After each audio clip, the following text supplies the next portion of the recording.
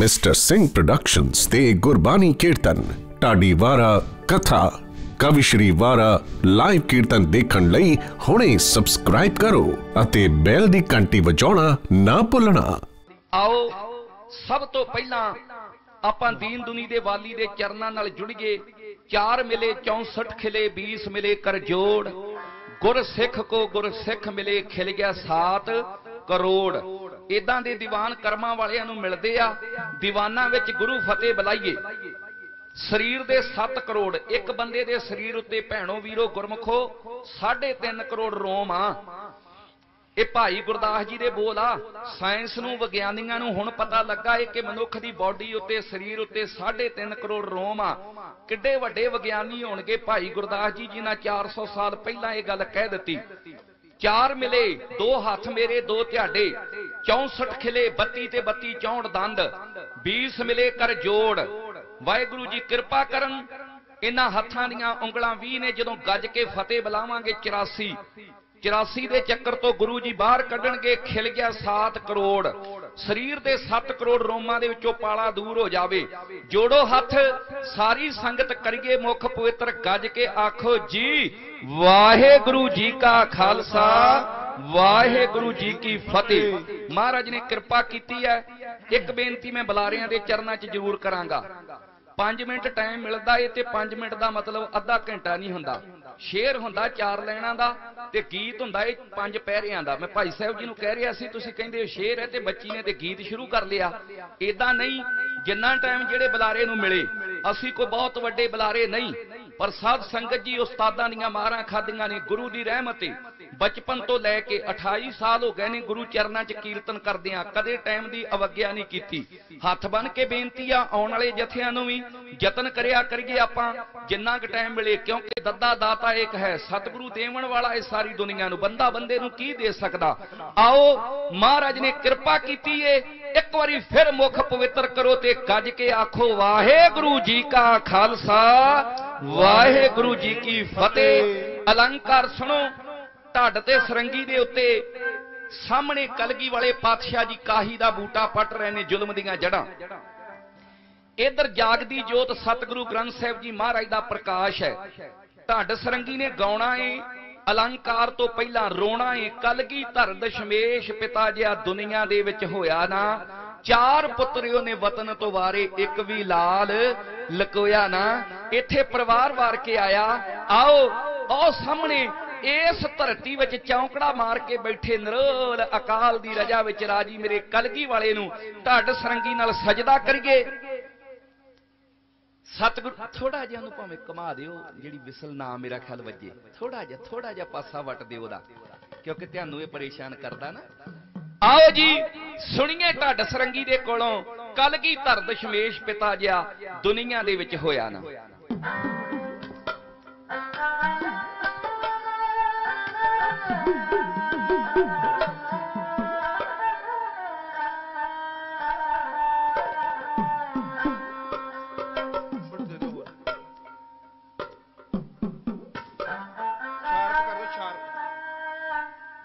ਵਾਹਿਗੁਰੂ।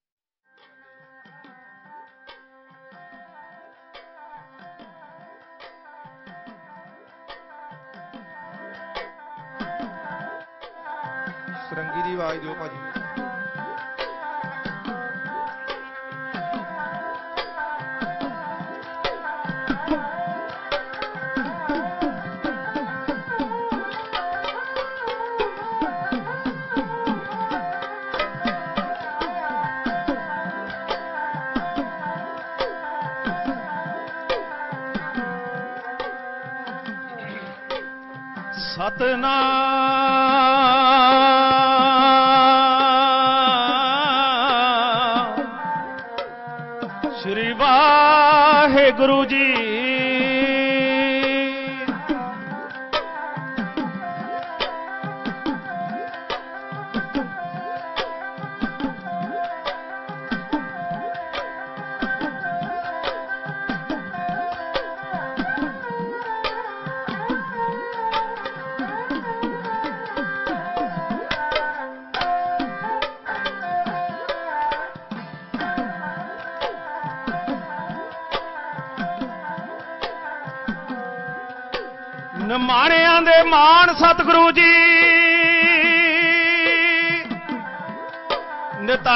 ਦੇ ਧਾਨ ਸਤਿਗੁਰੂ ਜੀ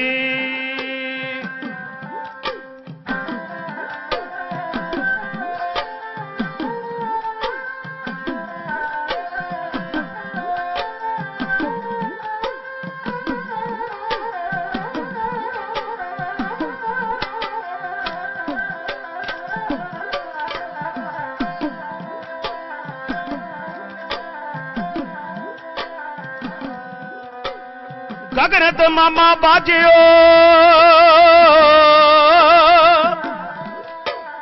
ਪਰਿਓ ਨਿਸ਼ਾਨੇ ਕਾਓ।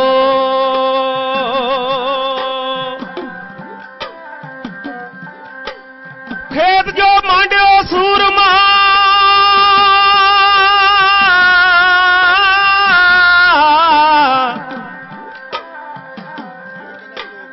ਆਪ ਜੁਜਣ ਕੋ ਜੀ ਸਤਨਾਮ ਸ੍ਰੀ ਵਾਹਿਗੁਰੂ ਜੀ।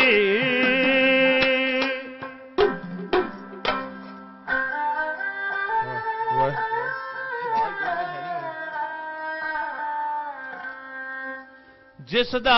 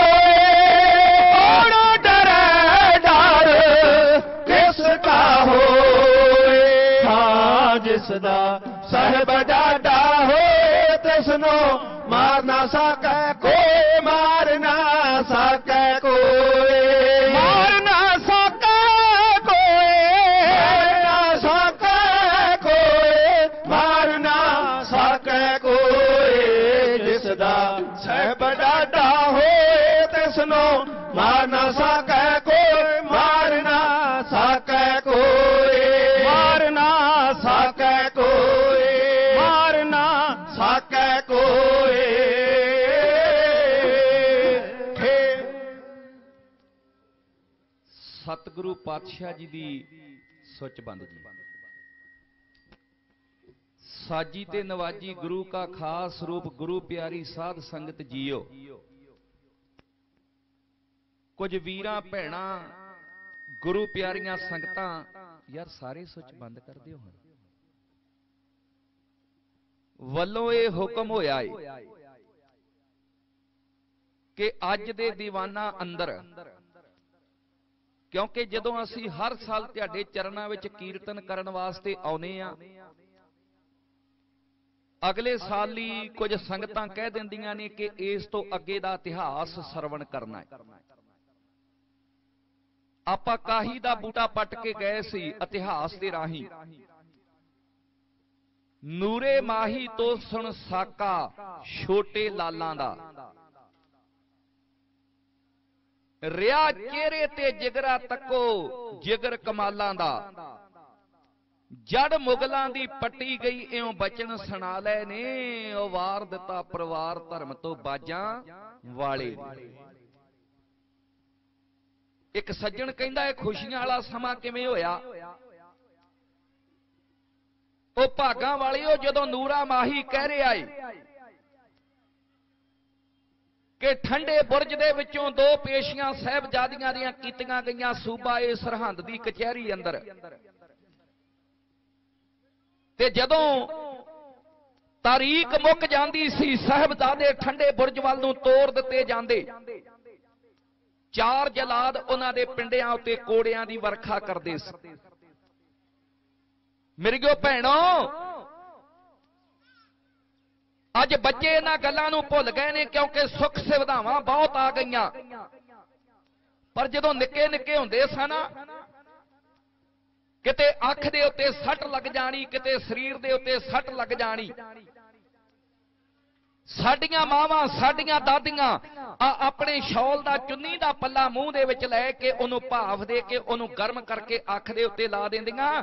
ਡਾਕਟਰ ਦੀ ਦਵਾਈ ਉਹਨਾਂ ਅਸਰ ਨਹੀਂ ਕਰਦੀ ਜਿੰਨਾ ਮੂੰਹ ਦੇ ਮਾਂ ਮਾਂ ਦੇ ਮੂੰਹ ਦੀ ਭਾਫ ਕਰ ਜਾਂਦੀ ਸੀ। ਗੱਜ ਕੇ ਆਖੋ ਸਤਨਾਮ। ਸ੍ਰੀ ਵਾਹਿਗੁਰੂ। ਸਹਿਬਜ਼ਾਦਿਆਂ ਨੂੰ ਜਿਹੜੀ ਮਾਰ ਪੈਂਦੀ ਸੀ ਨਾ ਸ਼ਮਕਾ ਮਾਰ ਮਾਰ ਕੇ ਕਚਹਿਰੀ ਤੋਂ ਲੈ ਕੇ ਠੰਡੇ ਬੁਰਜ ਤੱਕ ਕੋੜੇ ਮਾਰ ਮਾਰ ਕੇ ਜਲਾਦ ਪਿੰਡੇ ਦੀ ਚਮੜੀ ਉਧੇੜ ਦਿੰਦੇ, ਪਰ ਧੰਨ ਮਾਂ ਗੁਜਰੀ, ਨੂਰਾ ਮਾਹੀ ਇਸੇ ਧਰਤੀ ਵਿੱਚ ਆਣ ਕੇ ਦੱਸਦਾ ਏ ਦਾਤਾ ਕਿ ਆਪਣੇ ਮੂੰਹ ਦੀ ਭਾਫ ਦੇ ਨਾਲ ਸਾਰੀ ਰਾਤ ਬੱਚਿਆਂ ਦੇ ਪਿੰਡੇ ਦੇ ਉੱਤੇ ਸੇਕ ਦਿੰਦੀ ਰਹਿੰਦੀ ਰਹੀ ਕਿ ਕੱਲ ਨੂੰ ਇਹਨਾਂ ਨੇ ਫਿਰ ਜ਼ਾਲਮਾਂ ਦੀ ਕਚਹਿਰੀ ਵਿੱਚ ਜਾਣਾ। ਇਹ ਦਰਦਾਂ ਭਰੇ ਬੋਲ ਸੁਣ ਕੇ ਇੱਥੇ ਤੁਹਾਡੇ ਵਰਗੀਆਂ ਜਿੰਨੀਆਂ ਵੀ ਸੰਗਤਾਂ ਬੈਠੀਆਂ ਸੀ, ਉਹਨਾਂ ਦੀਆਂ ਤਾਹਾਂ ਨਿਕਲ ਗਈਆਂ, ਰਾਏ ਕੱਲਾ ਇੱਥੋਂ ਦਾ ਸਮਰਾਟ। ਤਾਹਾਂ ਮਾਰ ਮਾਰ ਕੇ ਰੋਪਿਆ, ਇੰਨਾ ਕਹਿਰ? ਪਰ ਜੇ ਅਡੋਲ ਬੈਠਾ ਏ ਤੇ ਮੇਰਾ ਕਲਗੀ ਵਾਲਾ ਪਾਤਸ਼ਾਹ ਬੈਠਾ। ਪੱਥੇ ਚੋਂ ਤੀਰ ਕੱਢਿਆ। ਉਹ ਕਾਹੀ ਦੇ ਬੂਟੇ ਨੂੰ ਖੁਰਚਿਆ ਏ, ਪੱਟ ਕੇ ਜੜਾਂ ਉਹ ਮਾਰੀਆਂ ਜ਼ੁਲਮ ਰਾਜ ਦੀਆਂ ਜੜਾਂ ਪੱਟ ਦਿੱਤੀਆਂ, ਤੁਰਕਾਂ ਦੀਆਂ ਜੜਾਂ ਪੱਟ ਦਿੱਤੀਆਂ। ਇੱਥੋਂ ਅੱਗੇ ਚੱਲ ਪਏ। ਬੜੇ ਦੁਖੜੇ ਸਹਾਰੇ ਨੇ, ਕਿਉਂਕਿ ਜ਼ਾਲਮ ਦਾ ਢਿੱਡ ਹੱਲੇ ਰੱਜਿਆ ਨਹੀਂ। ਤੇ ਮਹਾਰਾਜ ਨੇ ਵੀ ਇਹ ਗੱਲ ਕਹੀ ਸੀ, ਔਰੰਗਜ਼ੇਬ, ਅੱਗੇ ਕੀ ਨਹੀਂ ਹੋਇਆ ਤੇ ਅੱਗੇ ਕੀ ਨਹੀਂ ਹੋਣਾ? ਮੈਂ ਇਹਨਾਂ ਕ ਲਹੂ ਦਿਆਂਗਾ ਤੇਰੇ ਤੋਂ, ਪੀ ਨਹੀਂ ਹੋਣਾ। ਤੂੰ ਪੀ ਚੱਲ ਲਹੂ ਜਿੰਨਾ ਪੀਣਾ। ਔਰ ਸੱਚ ਜਾਣਿਓ ਦਮਾ ਦਿੱਤੇ ਆਵਾਜ਼ ਨਾ ਦਮ ਮਿਲਦੇ ਢੋਏ ਦਮਾ ਤੋਂ ਬਾਜ ਨਾ ਢੋਏ ਜਾਂਦੇ। ਹਾਂ। ਬਾਜ ਖੁਸ਼ੀ ਦੇ ਹੱਸਿਆ ਨਹੀਂ ਜਾਂਦਾ। ਰੋਣੇ ਗਮਾਂ ਤੋਂ ਬਾਜ ਨਾ ਰੋਏ ਜਾਂਦੇ ਓਏ ਦਰਦਾਂ ਬਾਜ ਨਾ ਸੀਨੇ ਵਿੱਚ ਛੇਕ ਪੈਂਦੇ ਛੇਕਾਂ ਬਾਜ ਨਾ ਮੋਤੀ ਪਰੋਏ ਜਾਂਦੇ। ਫਿਰ ਸਰਫਾ ਦਾਗ ਗੁਲਾਮੀ ਦੇ ਦੇਸ਼ ਤੋਂ ਬਿਨਾ ਅਣਖ ਦੀ ਕੌਮ ਨਾ ਧੋਏ ਜਾਂਦੇ।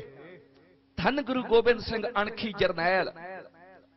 ਸਾਡੇ ਦੇਸ਼ ਨੂੰ 700 ਸਾਲ ਪੁਰਾਣਾ ਗੁਲਾਮੀ ਦਾ ਲੱਗਾ ਹੋਇਆ ਦਾਗ ਆਪਣੇ ਲਹੂ ਨਾਲ ਧੋਂਦੇ ਧੋਂਦੇ ਮੁਕਸਰ ਦੀ ਜੰਗ ਲੜੀ। ਬੇਦਾਵਾ ਪਾੜ ਦਿੱਤਾ, ਟੁੱਟੀ ਗੰਢੀ ਗਈ। ਦੁਨੀਆ ਦੇ ਵਾਲੀ ਇਹ ਜੰਗਾਂ ਜਿੱਤਦੇ ਜਿੱਤਦੇ ਆ ਗਏ ਨੇ ਮੁਕਸਰ ਸਾਹਿਬ ਦੇ ਇਲਾਕੇ ਵਿੱਚ, ਇੱਥੋਂ ਤਾਰ ਕੇ ਮੁਕਸਰ ਸਾਹਿਬ ਨੂੰ। ਟੁੱਟੀ ਗੰਢ ਕੇ ਜੰਗ ਲੜ ਕੇ ਮੁਕਤਿਆਂ ਦਾ ਵਰ ਦੇ ਕੇ ਇਹ ਧਰਤੀ ਨੂੰ ਕਰਮਾਂ ਤੇ ਭਾਗਾਂ ਵਾਲੇ ਉਹ ਬਠਿੰਡੇ ਨੂੰ ਚਾਲੇ ਪਾਉਂਦੇ ਆ। ਮਾਲਵਾ ਏ ਤੁਸੀਂ ਇੱਥੋਂ ਦੇ ਜੰਮ ਪਾਲੋ, ਜ਼ਿਆਦਾ ਸਾਡੇ ਨੂੰ ਜਾਣਦੇ ਹੋ ਇਤਿਹਾਸ ਪੜ੍ਹਿਆ ਏ, ਦੇਖਿਆ ਏ। ਦੋ ਪਿੰਡ ਆ ਗਏ ਨੇ ਦੀਨਾ ਤੇ ਕਾਂਗੜ। ਵਾਹ ਵਾਹ। ਸਤਿਗੁਰੂ ਨਾਨਕ ਨੇ ਇਸ ਧਰਤੀ ਨੂੰ ਭਾਗ ਲਾਏ। ਛੇਵੇਂ ਪਾਤਸ਼ਾਹ ਇਸ ਧਰਤੀ ਦੇ ਵਿੱਚ ਬਹੁਤ ਆਉਂਦੇ ਰਹੇ। ਫੂਲ ਮਹਾਰਾਜ ਦੇ ਮੈਦਾਨ ਵਿੱਚ ਜੰਗ ਲੜਿਆ। 35000 ਫੌਜ ਵੱਢੀ, ਪੰਜ ਜਰਨੈਲ ਵੱਡੇ ਸਤਵੇਂ ਪਾਤਸ਼ਾਹ ਦਾਦਾ ਗੁਰੂ ਜੀ ਦੀਆਂ ਨਿਸ਼ਾਨੀਆਂ ਨੂੰ ਆਣ ਕੇ ਕਾਇਮ ਕਰਦੇ ਰਹਿ। ਨਾਭੇ ਤੇ ਜੀਂਦ ਵਰਗੀਆਂ ਰਿਆਸਤਾਂ ਕਾਇਮ ਕਰ ਦਿੱਤੀਆਂ। ਤੇ ਕਲਗੀਧਰ ਪਾਤਸ਼ਾਹ ਨੇ ਤੇ ਬਹੁਤ ਵੱਡੀ ਕਿਰਪਾ ਕੀਤੀ ਕਰਮਾਂ ਵਾਲਿਓ। ਇਹ ਤਾਰ ਦਿੱਤਾ ਮਾਲਵਾ। ਪਹੁੰਚ ਗਏ ਦੁਨੀਆ ਦੇ ਵਾਲੀ ਪਿੰਡ ਦੀਨਾ ਤੇ ਕਾਂਗੜ। ਦੋਹਾਂ ਪਿੰਡਾਂ ਦੇ ਵਿਚਕਾਰ ਇਦਾਂ ਹੀ ਇੱਕ ਪਾਣੀ ਦੀ ਢਾਬ ਏ, ਉਹਦੇ ਕੰਢੇ ਉੱਤੇ ਜਾ ਕੇ ਡੇਰਾ ਲਾ ਲਿਆ। ਥੋੜੀਆਂ ਜੀਆਂ ਸੰਗਤਾਂ ਨਾਲ ਨੇ, ਜਿੱਥੋਂ ਮੈਂ ਇਤਿਹਾਸ ਦੀ ਆਰੰਭਤਾ ਕਰਨੀ ਚਾਹੁੰਦਾ। ਮਹਾਰਾਜ ਅਕਾਲ ਪੁਰਖ ਨੂੰ ਬਚਨ ਕਰਦਿਆਂ ਹੋਇਆ ਇਹ ਸਾਨੂੰ ਦੁਨੀਆਦਾਰਾਂ ਨੂੰ ਸਮਝਾਉਂਦੇ ਆ। ਇੱਕ ਗੱਲ ਕਹਿੰਦੇ ਨੇ, ਲੋਕਾਂ ਨੇ ਪੁੱਛਿਆ ਸੀ ਨਾ, ਦਾਤਾ ਜੀ, ਤੁਸੀਂ ਕੌਣ ਹੋ? ਤੇ ਗੁਰੂ ਗੋਬਿੰਦ ਸਿੰਘ ਜੀ ਕਹਿੰਦੇ, ਮੈਂ ਹੂੰ ਪਰਮ ਪੁਰਖ ਕੋ ਦਾਸਾ। ਮੈਂ ਅਕਾਲ ਪੁਰਖ ਵਾਹਿਗੁਰੂ ਦਾਤੇ ਦਾ ਦਾਸ ਹਾਂ। ਤੇ ਕਹਿੰਦੇ, ਆਏ ਕਿਵੇਂ ਹੋ? ਮਹਾਰਾਜ ਕਹਿੰਦੇ, ਦੇਖਣ ਆਇਓ, ਜਗਤ ਤਮਾਸ਼ਾ। ਇਹ ਅਕਾਲ ਪੁਰਖ ਦਾ ਰਚਿਆ ਹੋਇਆ ਤਮਾਸ਼ਾ ਵੇਖਣ ਵਾਸਤੇ ਆਏ ਆ। ਤੇ ਮਹਾਰਾਜ ਤੁਹਾਡੀ ਕੀ ਲੀਲਾ ਏ? ਉਹ ਸਤਿਗੁਰਾਂ ਨੇ 72 ਨਾਟਕ ਲਿਖਿਆ 72 ਕਹਿੰਦੇ ਨੇ, ਅਨੋਖਾ ਤੇ ਨਾਟਕ ਕਹਿੰਦੇ ਨੇ ਡਰਾਮਾ। ਦੁਨੀਆ ਦੇ ਲੋਕ ਡਰਾਮੇ ਖੇਲਦੇ ਨੇ, ਪਰ ਅਸੀਂ ਅਨੋਖਾ ਨਾਟਕ, ਅਨੋਖਾ ਡਰਾਮਾ ਖੇਡਾਂਗੇ। ਇਹ ਡਰਾਮਾ ਕਿਹੋ ਜਿਹਾ ਹੋਵੇਗਾ? ਮੇਰੇ ਸਿੰਘ ਕੱਟੇ ਹੋਏ ਸਿਰ ਤਲੀਆਂ ਦੇ ਉੱਤੇ ਰੱਖ ਕੇ ਦੁਸ਼ਟਾਂ ਨਾਲ ਭਿੜ ਜਾਣਗੇ। ਮੈਂ ਚਿੜੀਆਂ ਤੋਂ ਬਾਜ ਤੜਵਾ ਦੇਵਾਂਗਾ। ਲੱਖਾਂ ਦੇ ਸਾਹਮਣੇ ਲੜਨ ਵਾਲਾ ਇੱਕ ਬੋਇਦਲ ਬੰਦਾ ਜਿਹੜਾ ਉਹਨੂੰ ਖੰਡੇ ਦੀ ਪੌਲ ਦੇ ਕੇ ਬਹਾਦਰ ਬਣਾ ਕੇ ਤਿਆਰ ਬਿਆਰ ਤੈਨ ਸਿੰਘ ਮਹਾਕਾਲ ਦਾ ਰੂਪ ਬਣਾ ਕੇ ਉਹਨਾਂ ਦੇ ਸਾਹਮਣੇ ਖੜਾ ਕਰ ਦੇਵਾਂਗਾ। ਲੱਖਾਂ ਨਾਲ ਲੜ ਜਾਵੇਗਾ ਮੇਰਾ ਸਿੰਘ ਔਰ ਲੜਾ ਕੇ ਵਿਖਾਇਆ। ਰਾਤ ਕੱਟੀ, ਅੰਮ੍ਰਿਤ ਵੇਲਾ ਹੋਇਆ ਏ। ਅੱਜ ਧਰਤੀ ਨੂੰ ਚਾਹ ਚੜਿਆ ਏ ਪਿੰਡ ਦੀਨੇ ਤੇ ਕਾਂਗੜ ਦੇ ਵਿਚਕਾਰ ਪਾਣੀ ਦੇ ਢਾਬ ਕੰਢਾ। ਸਿੱਖ ਸੰਗਤਾਂ ਨੂੰ ਚਾਹ ਚੜਿਆ ਏ। ਦੁਨੀਆ ਦਾ ਵਾਲੀ ਇਹ ਧਰਤੀ ਨੂੰ ਭਾਗ ਲਾਉਣ ਆ ਗਿਆ। ਕਈ ਗੁਰਮੁਖ ਪਿਆਰੇ, ਕਈ ਧੀਆਂ, ਕਈ ਭੈਣਾਂ, ਸਾਰੀ ਰਾਤ ਉੱਥੇ ਵਾਹਿਗੁਰੂ ਵਾਹਿਗੁਰੂ, ਧੰਨ ਗੁਰੂ ਗੋਬਿੰਦ ਸਿੰਘ, ਧੰਨ ਗੁਰੂ ਗੋਬਿੰਦ ਸਿੰਘ ਜਪਦੀਆਂ ਰਹੀਆਂ। ਮਹਾਰਾਜ ਉੱਠੇ। ਬਸਤਰ ਉਤਾਰੇ। ਢਾਬ ਦੇ ਵਿੱਚ ਵੜ ਗਏ ਨੇ। ਇਸ਼ਨਾਨ ਕਰ ਲਿਆ।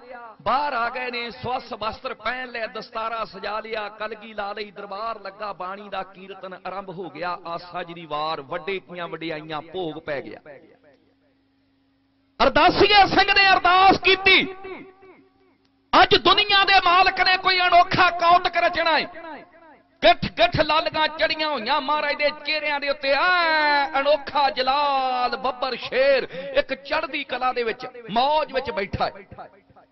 ਜਦੋਂ ਅਰਦਾਸ ਹੋ ਗਈ ਨਾ, ਤੇ ਸਤਿਗੁਰੂ ਜੀ ਗਿਆਨ ਉਪਦੇਸ਼ ਵੰਡਿਆ ਕਰਦੇ ਸੀ, ਪਰ ਅੱਜ ਮਹਾਰਾਜ ਨੇ ਇੱਕ ਬੜਾ ਕਰੜਾ ਬਚਨ ਕੀਤਾ। ਭੈਣੋ, ਜਰਾ ਧਿਆਨ ਦੇ ਨਾਲ ਗੱਲ ਸੁਣਿਓ, ਮੇਰੀਆਂ ਪੜੀਆਂ ਲਿਖੀਆਂ ਧੀਆਂ। ਮੈਂ ਪਹਿਲਾਂ ਵੀ ਬੇਨਤੀ ਕੀਤੀ ਸੀ ਵੀ ਆ ਜਿਹੜੀ ਆਵਾਜਾਈ ਜੀ ਨਾ, ਇਹ ਘੱਟ ਕਰ ਦਿਓ ਹੁਣ। ਬਸ ਕਰ ਭੈਣੇ, ਮਿਲਣ ਦਾ ਵੇਲਾ ਨਹੀਂ, ਇਹ ਸੁਣਨ ਦਾ ਵੇਲਾ ਏ। ਮੈਂ ਬਰਦਾਸ਼ਤ ਨਹੀਂ ਕਰਦਾ, ਗੁਰੂ ਚਰਨਾਂ ਦੇ ਵਿੱਚ ਕੋਈ ਲੈਕਚਰ ਕਰਦਿਆਂ ਏਦਾਂ ਹੋਵੇ। ਮੇਰੀਆਂ ਧੀਆਂ ਦੋ ਗੱਲਾਂ ਕਰ ਰਹੀਆਂ, ਜਿਹੜੀ ਉੱਠ ਕੇ ਚੱਲੀ, ਇਹਨੂੰ ਭੇਜ ਦਿਓ ਭੈਣੋ। ਸ਼ਾਇਦ ਇਹਨਾਂ ਨੂੰ ਸੁਣਦਾ ਹੀ ਨਹੀਂ ਹੈਗਾ। ਏਦਾਂ ਨਾ ਕਰੋ। ਬਸ ਕਰ ਧੀਏ, ਇੱਧਰ ਸਟੇਜ ਵੱਲ ਦੇਖ। ਜਾਣਾ ਏ ਤੇ ਜਾ, ਉਹਨੂੰ ਕਿਉਂ ਪਰੇਸ਼ਾਨ ਕਰਦੀ ਹੈ ਬਿਲਕੁਲ ਇਹ ਸੱਟ ਲੱਗਦੀ ਦਿਲ ਦੇ ਉੱਤੇ। ਗੁੱਸਾ ਕਰੇ ਕੋ ਰਾਜੀ। 10 ਰੁਪਏ ਨਹੀਂ ਲੈਣ ਆਉਂਦੇ।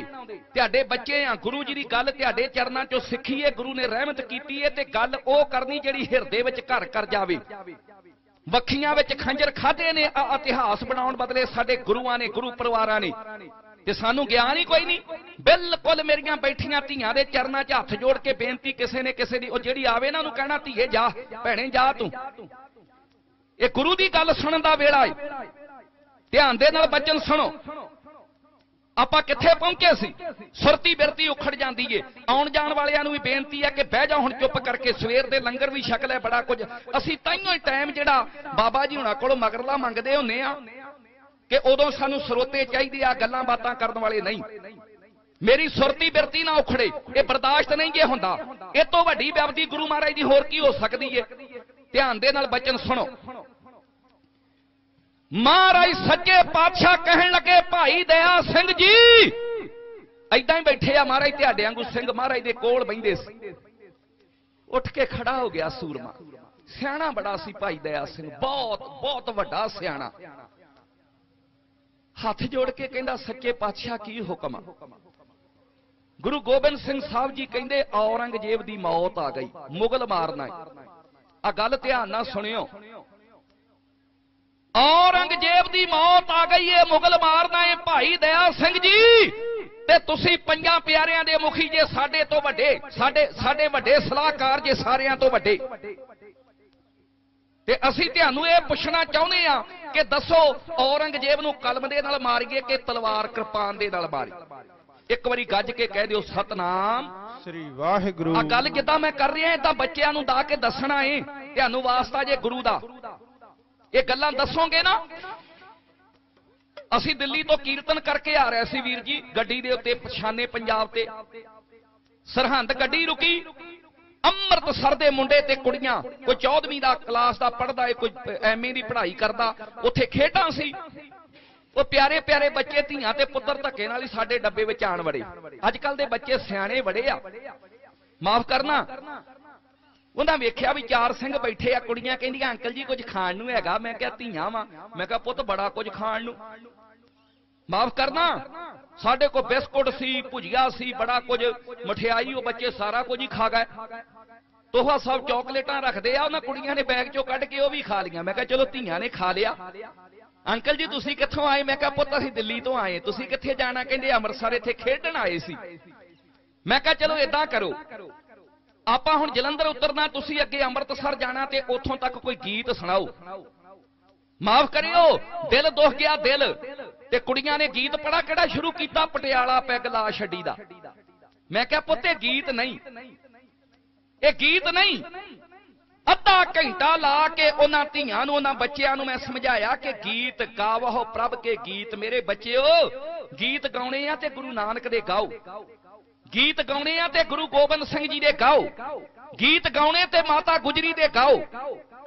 ਉਹ ਧੀਆਂ ਬਹਿ ਗਈਆਂ, ਕਹਿੰਦੀਆਂ, ਅੰਕਲ ਜੀ, ਸਾਨੂੰ ਇਦਾਂ ਦੇ ਕਿਸੇ ਨੇ ਦੱਸਿਆ ਹੀ ਨਹੀਂ। ਮੈਂ ਕਿਹਾ, ਤੁਸੀਂ ਨਹੀਂ ਤੁਹਾਡੇ ਮਾਪੇ ਦੋਸ਼ੀ ਆ, ਗੱਜ ਕੇ ਆਖੋ ਸਤਨਾਮ। ਮੈਂ ਉਦੋਂ ਤੋਂ ਇੱਕ ਵਚਨ ਕੀਤਾ ਕਿ ਜਿੰਨਾ ਚਿਰ ਗੁਰੂ ਹਜ਼ੂਰੀ ਦੇ ਅੰਦਰ ਗੁਰੂ ਦੇ ਪਹਿਰੇਦਾਰ ਬਣ ਕੇ, ਗੁਰੂ ਘਰ ਦੇ ਚੌਕੀਦਾਰ ਬਣ ਕੇ ਗਾਉਣਾ ਬਰਦਾਸ਼ਤ ਨਹੀਂ ਕਰਨਾ ਕਿਸੇ ਦੀ ਗੱਲ। ਜਿਹੜੀ ਗੱਲ ਕਹਿਣੀ ਆ, ਸੰਗਤ ਦੇ ਹਿਰਦਿਆਂ ਤੱਕ ਚਲੀ ਜਾਵੇ। ਇਹ ਸਮਾਗਮ ਕਰਾਉਣ ਦਾ ਮਤਲਬ ਕੀ ਹੋਇਆ? ਗੱਲ ਧਿਆਨ ਨਾਲ ਸੁਣੋ। ਮਹਾਰਾਜ ਕਹਿੰਦੇ, ਔਰੰਗਜ਼ੇਬ ਦੀ ਮੌਤ ਆ ਗਈ ਏ, ਮੁਗਲ ਮਾਰਨਾ ਏ। ਭਾਈ ਦਇਆ ਸਿੰਘ ਜੀ, ਦੱਸੋ ਕਲਮ ਨਾ ਮਾਰੀਏ ਕਿ ਤਲਵਾਰ ਨਾ ਮਾਰੀਏ? ਤੇ ਦਇਆ ਸਿੰਘ ਸਿਆਣੇ ਬੜੇ ਸੀ। ਕਹਿੰਦੇ, ਸਤਿਗੁਰੂ ਜੀ, ਤੁਸੀਂ ਕਹਿ ਦਿੱਤਾ ਤੇ ਔਰੰਗਜ਼ੇਬ ਮਰ ਗਿਆ। ਮਾੜਾ ਜਿਹਾ ਜਾਇਆ ਇਹਨਾਂ ਦਾ। ਆ ਹਟਾਓ ਖਾ ਇਹਨਾਂ ਨੂੰ ਭਾਂਡੇ ਵੀ ਖੜਕਾਈ ਜਾਂਦੇ ਤੇ ਆਪ ਵੀ ਖੜਕੀ ਜਾਂਦੇ। ਕਰੋ ਇਹਨਾਂ ਦੇ ਉੱਤੇ ਕਿਰਪਾ ਜੀ ਥੋੜੀ ਜੀ ਸੱਚੇ ਪਾਤਸ਼ਾਹ, ਤੁਸੀਂ ਕਹਿ ਦਿੱਤਾ ਤੇ ਔਰੰਗਜ਼ੇਬ ਮਰ ਗਿਆ। ਹੁਣ ਭਾਵੇਂ ਕਲਮ ਨਾ ਮਾਰ ਦਿਓ ਤੇ ਭਾਵੇਂ ਕਲਪਾਨ ਨਾ ਮਾਰ ਦਿਓ। ਜਦੋਂ ਤੁਸੀਂ ਕਹਿ ਦਿੱਤਾ ਤੇ ਉਹ ਮਰ ਗਿਆ। ਸਤਿਗੁਰੂ ਕਹਿੰਦੇ, ਪੁੱਤਰਾ ਤੂੰ ਠੀਕ ਆਖਿਆ। ਗੁਰੂ ਜੀ ਦੀ ਲੀਲਾ ਦੇਖੋ। ਕਹਿੰਦੇ ਜੇ ਤੀਰ ਨਾਲ ਜਾਂ ਕਿਰਪਾਨ ਨਾਲ ਜਾਂ ਸ਼ਸਤਰ ਨਾਲ ਮਾਰਨਾ ਹੁੰਦਾ ਤੇ ਬੜੇ ਚਿਰ ਦਾ ਮਾਰ ਦਿੰਦੇ। ਬੜੇ ਚਿਰ ਦਾ। ਦਾਤਾ ਜੀ ਵੀ ਕਿੱਦਾਂ ਮਾਰਨਾ, ਕਹਿੰਦੇ ਕਲਮ ਨਾਲ ਮਾਰਨਾ, ਜਿਹੜੀ ਅੱਜ ਤੱਕ ਕਦੇ ਕਿਸੇ ਨੇ ਕਿਸੇ ਨੂੰ ਮੌਤ ਦਿੱਤੀ ਨਾ ਹੋਵੇ। ਲਿਆਓ ਕਾਗਜ਼ ਤੇ ਕਲਮ। ਇੱਥੋਂ ਇਤਿਹਾਸ ਦੀ ਆਰੰਭਤਾ ਕਰਨ ਲੱਗਾ। ਕਿੱਥੋਂ ਤੱਕ ਆਪਾਂ ਪਹੁੰਚਣਾ ਹੈ ਮੇਰਾ ਵਾਹਿਗੁਰੂ ਜਾਣਦਾ। ਸਮੇਂ ਨੂੰ ਵੀ ਮੁੱਖ ਰੱਖਣਾ। ਆਪਣੇ ਕੋਲ ਟਾਈਮ ਹੈ। ਹੱਲੇ 10 ਮਿੰਟ ਰਹਿੰਦੇ 4 ਵਜਣ ਵਿੱਚ, ਸਵਾ 5 ਵਜੇ ਤੱਕ ਲਾਵਾਂਗੇ। ਜੇ ਬੈਠੇ ਰਹੋਗੇ ਤੇ ਜਿੰਨਾ ਮਰਜ਼ੀ ਲਵਾ ਲਿਓ, ਸਾਨੂੰ ਕੋਈ ਕਾਲੀ ਨਹੀਂ। ਪਰ ਮੈਂ ਇੰਨੇ ਚਿਰ ਵਿੱਚ ਯਤਨ ਕਰਾਂਗਾ ਇਤਿਹਾਸ ਦਾ ਨਿਚੋੜ ਕੱਢਣ ਦਾ, ਜਿਹੜਾ ਮੈਂ ਬਚਨ ਤੁਹਾਡੇ ਚਰਨਾਂ 'ਚ ਲੈ ਕੇ ਆਇਆ। ਮਹਾਰਾਜ ਕਹਿੰਦੇ, ਲਿਆਓ ਕਾਗਜ਼ ਤੇ ਕਲਮ। ਸ਼ਾਹੀ ਭਰੀ ਦਵਾਤ। ਲਓ ਜੀ, ਸਾਰੀ ਸੰਗਤ ਹੋ ਗਈ ਸਾਵਧਾਨ। ਪਾਇਆ ਸਿੰਘਾਂ ਨੇ ਗਲ ਵਿੱਚ ਪੱਲਾ। ਅਕਾਲ ਪੁਰਖ ਦੇ ਚਰਨਾਂ ਵਿੱਚ ਪਾਤਸ਼ਾਹੀਆਂ ਨੂੰ ਧਿਆ ਕੇ ਅਰਦਾਸ ਕੀਤੀ ਤੇ ਦੀਨਾ ਕਾਂਗੜ। ਜਦੋਂ ਲਾਈ ਨਗਾਰੇ ਉੱਤੇ ਚੋਟ, ਇੱਕ ਵਾਰੀ ਪੂਰਾ ਮਾਲਵਾ ਜਿਹੜਾ ਨਗਾਰੇ ਦੀ ਚੋਟ ਨਾਲ ਗੂੰਜ ਉੱਠਿਆ। ਮਿਰਗਾਂ ਦੀਆਂ ਡਾਰਾਂ ਨੂੰ ਭਾਜੜਾਂ ਪੈ ਗਈਆਂ, ਮਾਲਵੇ ਦੇ ਚੌਧਰੀਆਂ ਦੇ ਦਿਲ ਧੜਕਣ ਲੱਗ ਪਏ। ਏਡਾ ਖਤਰਨਾਕ ਨਗਾਰਾ ਕਿਹਨੇ ਵਜਾ ਦਿੱਤਾ? ਇਹ ਤੇ ਮਾਲਵੇ ਦੀ ਧਰਤੀ ਕੰਬ ਉੱਠੀ ਏ। ਕਲਗੀਧਰ ਪਾਤਸ਼ਾਹ ਔਰੰਗਜ਼ੇਬ ਦੀ ਮੌਤ ਦਾ ਪ੍ਰਵਾਨਾ ਲਿਖਣ ਲੱਗੇ ਨੇ ਢਾਡੀ ਕਲਾ ਵਿੱਚ ਇਹਨੂੰ ਸਾਕਾ ਕਹਿੰਦੇ ਆ। ਬਚਨ ਹੈ ਲਿਖਿਆ ਔਰੰਗਜ਼ੇਬ ਨੂੰ ਸਤਗੁਰ ਪ੍ਰਵਾਨਾ। ਵੰਗਾਰ ਕੇ ਕਹਿੰਦੇ ਨੇ ਸੁਣ ਸਮਰਾਟਾ ਭਾਰਿਆ ਹਿੰਦ ਦੇ ਸੁਲਤਾਨਾ। ਤੂੰ ਵੱਡਾ ਬਾਦਸ਼ਾਹ ਹੈ ਨਾ? ਅਵੇਖ! ਮੈਂ ਮਾਲਵੇ ਦੀ ਧਰਤੀ ਬਠਿੰਡੇ ਦੇ ਰੇਗਿਸਤਾਨ ਪਿੰਡ ਦੀਨਾ ਤੇ ਕਾਂਗੜ ਪਾਣੀ ਦੀ ਢਾਬ ਦੇ ਕੰਢੇ ਤੇ ਬੈਠਾ ਤੇਰੀ ਮੌਤ ਦਾ ਪ੍ਰਵਾਨਾ ਲਿਖ ਰਿਹਾ। ਲੈ ਕੇ ਕਾਗਜ਼ ਤੇ ਕਲਮ ਕਰਕੇ ਅਰਦਾਸ, ਲਾ ਕੇ ਨਗਾਰੇ ਦੇ ਉੱਤੇ ਚੋਟ, ਇੱਕ ਦੁਨੀਆ ਦਾ ਵਾਲੀ ਔਰੰਗਜ਼ੇਬ ਨੂੰ ਜਫਰਨਾਮਾ ਫਤਿਹ ਦਾ ਖਤ। ਹੈ! ਐਉਂ ਲਿਖ ਰਿਹਾ ਬਈ।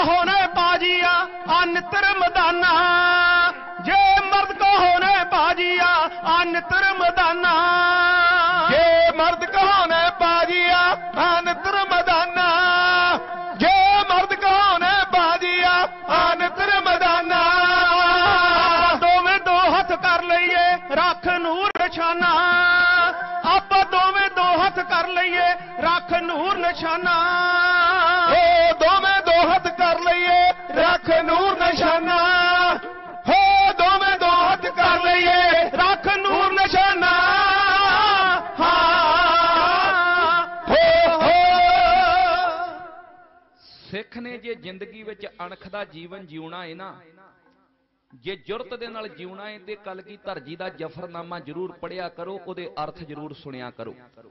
ਜਫਰਨਾਮੇ ਦੇ ਵਿੱਚੋਂ ਜੁਰਤ ਮਿਲੇਗੀ, ਜੁਰਤ।